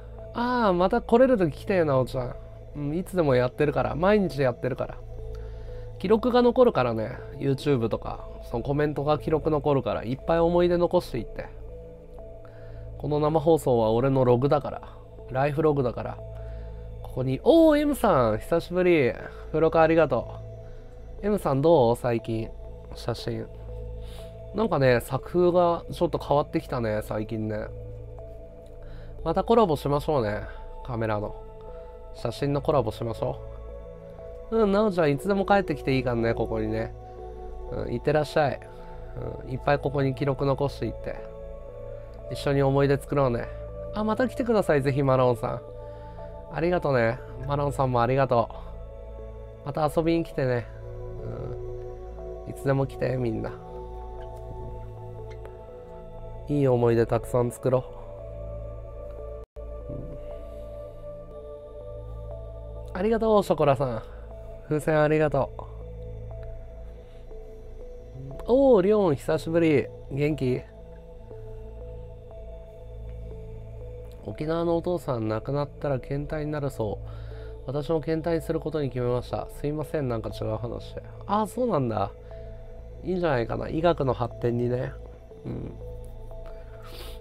そっかそっか。いいじゃん。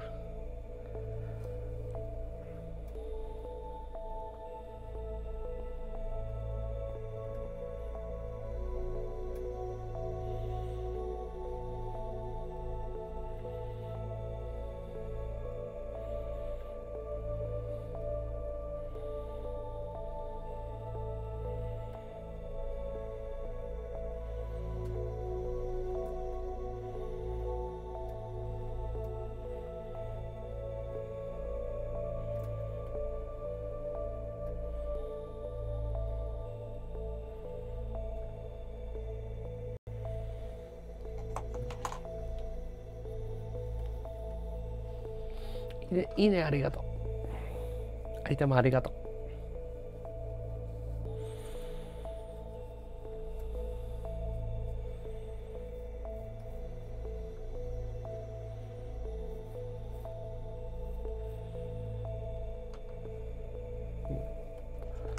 今日はいいパターンが掘れてるね。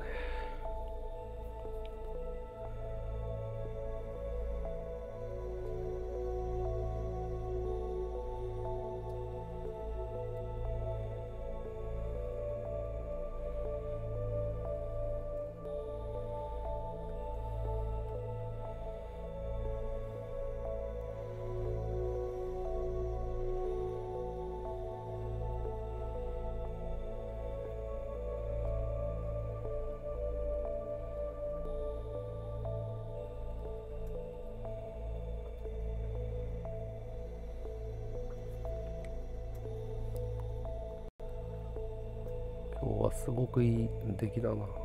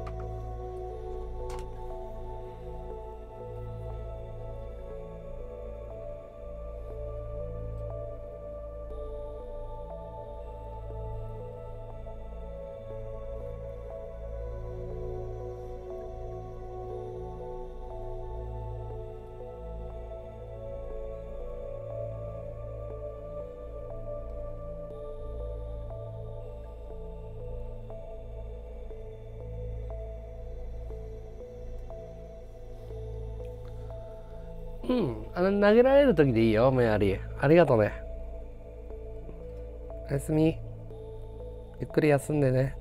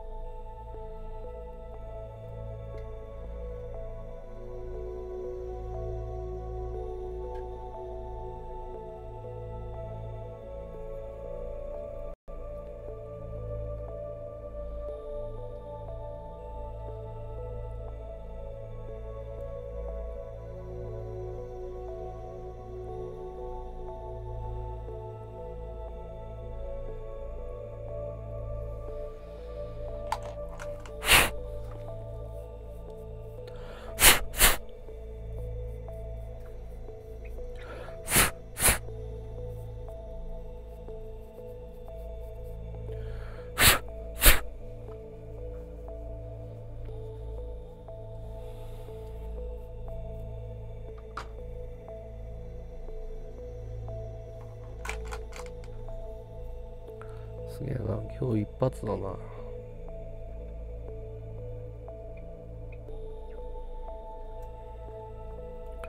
いいパターンが掘れてるね今日は。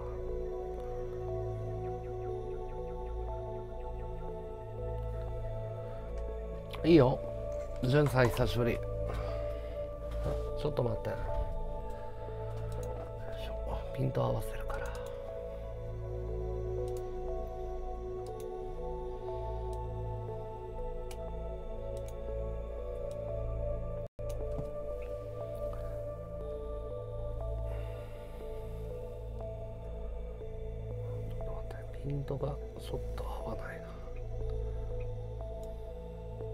かな？見える？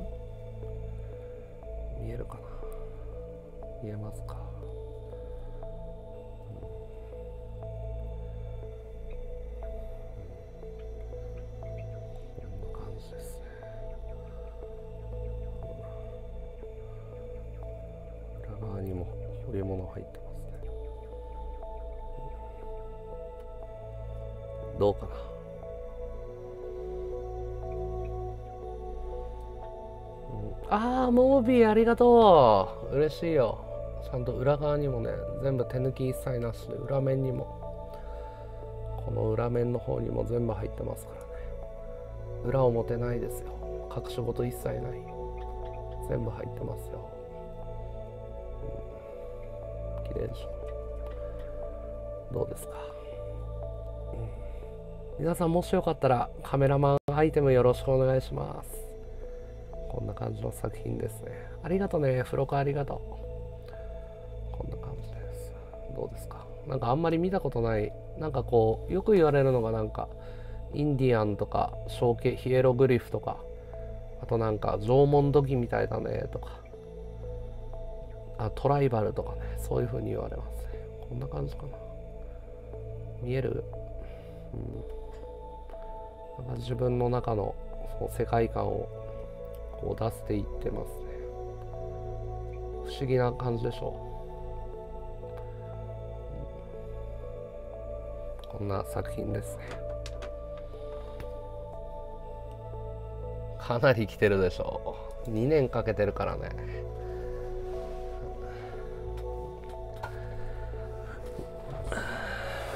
1個の模様こんくらいの1個の模様を彫るのに6時間かかるからね。近づいてきたね。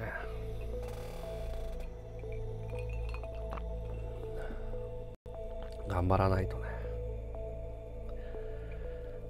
いや続けてよかったよでも。素敵。ありがとう。個展で発表したいね。あの霧の箱に入れて赤いベルベットの赤い布をこうくしゃくしゃって貼ってでそこに埋め込むのシルバー。ビッカビカに磨いたこのシルバーを埋め込んでで額に額みたいに壁にかけてこうやって霧の箱。で霧の箱の裏には作品名書いてナンバリングしてで壁にかけておいて。でライトアップして展示して真っ暗な部屋にピカーってその箱箱をピカーって光らせてで近くで見れるようにして。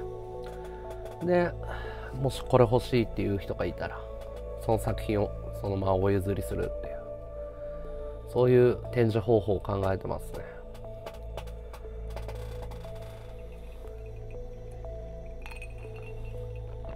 生でねやっぱその映像で見るよりなやっぱ生でね触った方がこれは綺麗だと思うね。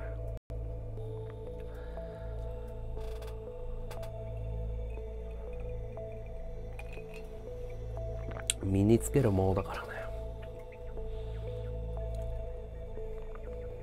多分敵な作品になると思うな、うん、だからその霧の箱をそのまま部屋に飾っておいてもいいしあアートとしてそのカラビナ身につけない人はねアートとして部屋にこう額を飾っておいてもいいしそれともあの身につけて普通にアクセサリーとして使うでも両方とも使えるようにするって。で1個の作品に対してナンバリングこのブランド名とか傷をつけるの？普通は。カラビナってねこれですね。今作ってるのは。俺はねウォレットチェーンの先につけてるんだけどこれをカラビナって言うんですよ。ここにお財布2つつけてて蛇の骨のウォレットチェーンつけて。でこれ上の部分がこの部分がカラビナですね。要はねお財布とか骨とかウォレットチェーンとかこれは気に入ってるんだけどこれが気に入らなくてどこにでも同じデザインじゃんこれって。でこれのオリジナルのシルバーで作ってるのってあんまり出回ってなくてこれを作ろうと思って始まったのね。だからこういう風に鍵がぶら下がるってこれくらいかな。こういう風に鍵がぶら下がってここはこうやって開閉するってだからあの最終的にはこういう仕組みになりますね、うん、こういう風になります。ここにバーがついてる。だからで下のこのここの部分あるじゃん。トゲの。ここに鍵がぶら下がって。でこういう俺はここにつけようと思ってるね。こんなイメージだね。こんな感じ。以上。これカチャってついて。フックがついて。これがビカビカのシルバーって感じかな。これが俺の作品。俺はだからもうこれ完成したらずっと身につけて感じででまあ例えば女の人とかだったらまあバッグにバッグの取っ手のところとかにフック鍵とか定期入れとかつけてカチャって引っ掛けておいてバッグのアクセサリーとかにも使えるし。うん、そういう感じだね。おはよう、チーズ。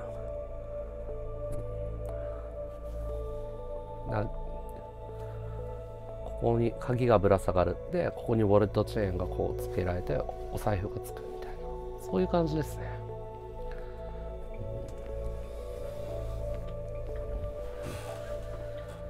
これがカラビナっていうやつですね。あの登山とかに使う道具ね。カラビナ。まあだけどそのアートの作品でもあるから壁に飾っておいてもいいしそこら辺は使う人の自由かな。特に何かを指定するつもりはなくて買った人オーナーが自由に使っていいっていう。ものを所有するっていうことはそういうことだから。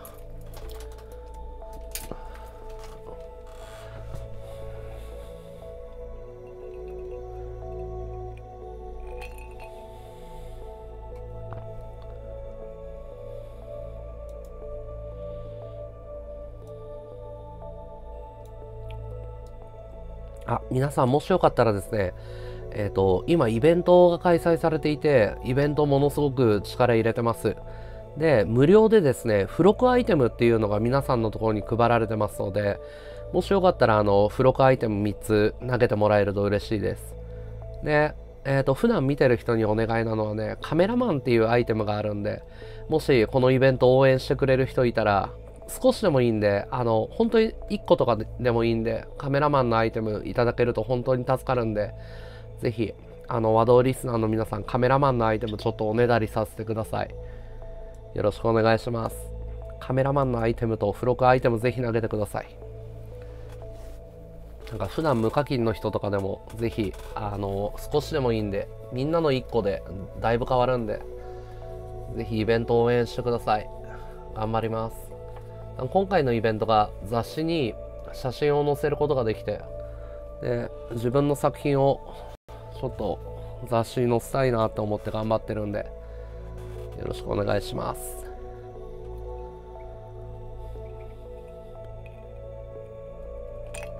カメラマンアイテムもぜひぜひお願いします。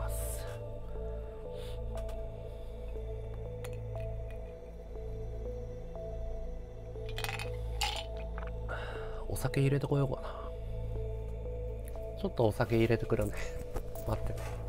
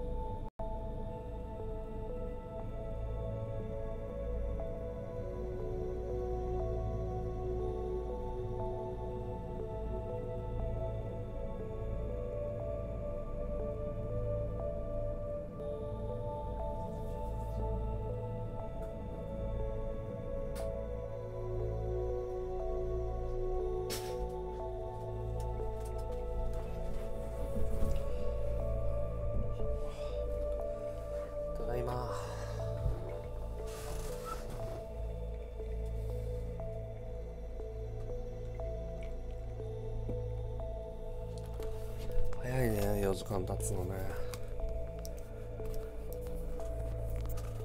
みんなぐっすり寝たかな。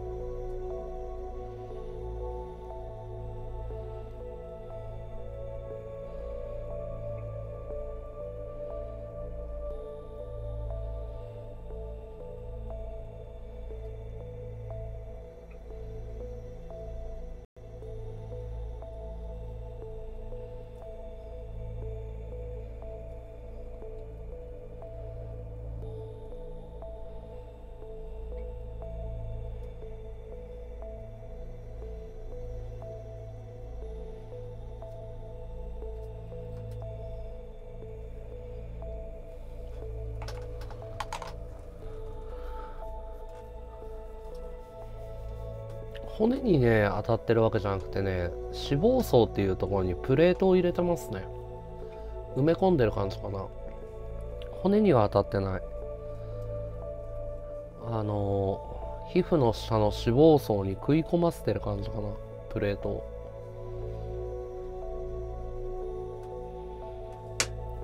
インプラントですね。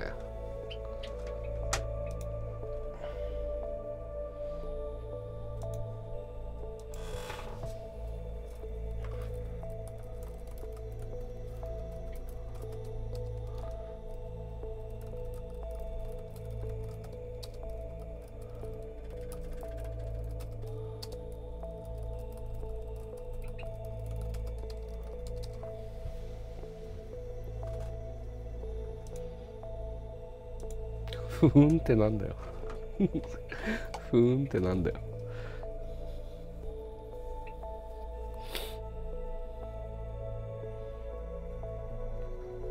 結構綺麗なカラーで気に入ってるかな。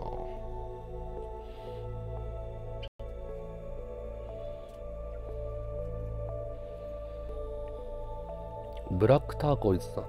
ブラックターコイズじゃない。ブラックえー、っとなんだっけ。オパールか。ブラックオパールだ。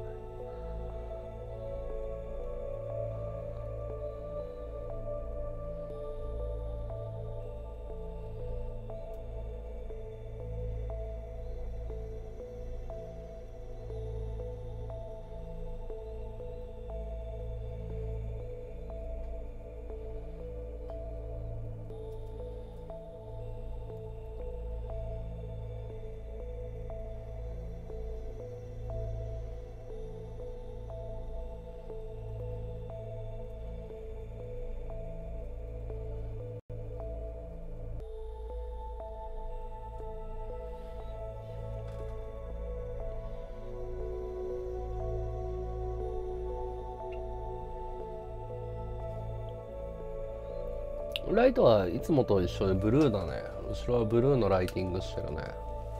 ここがブルーライティングだね、うん、こっち側今作業やってるから白いライト入れてるけどね。ライティングはブルーだね。じゃあ皆さんありがとうございました。お疲れ様です。またまた。最後にね付録アイテムとカメラマンアイテムよろしくお願いします。お疲れ様です。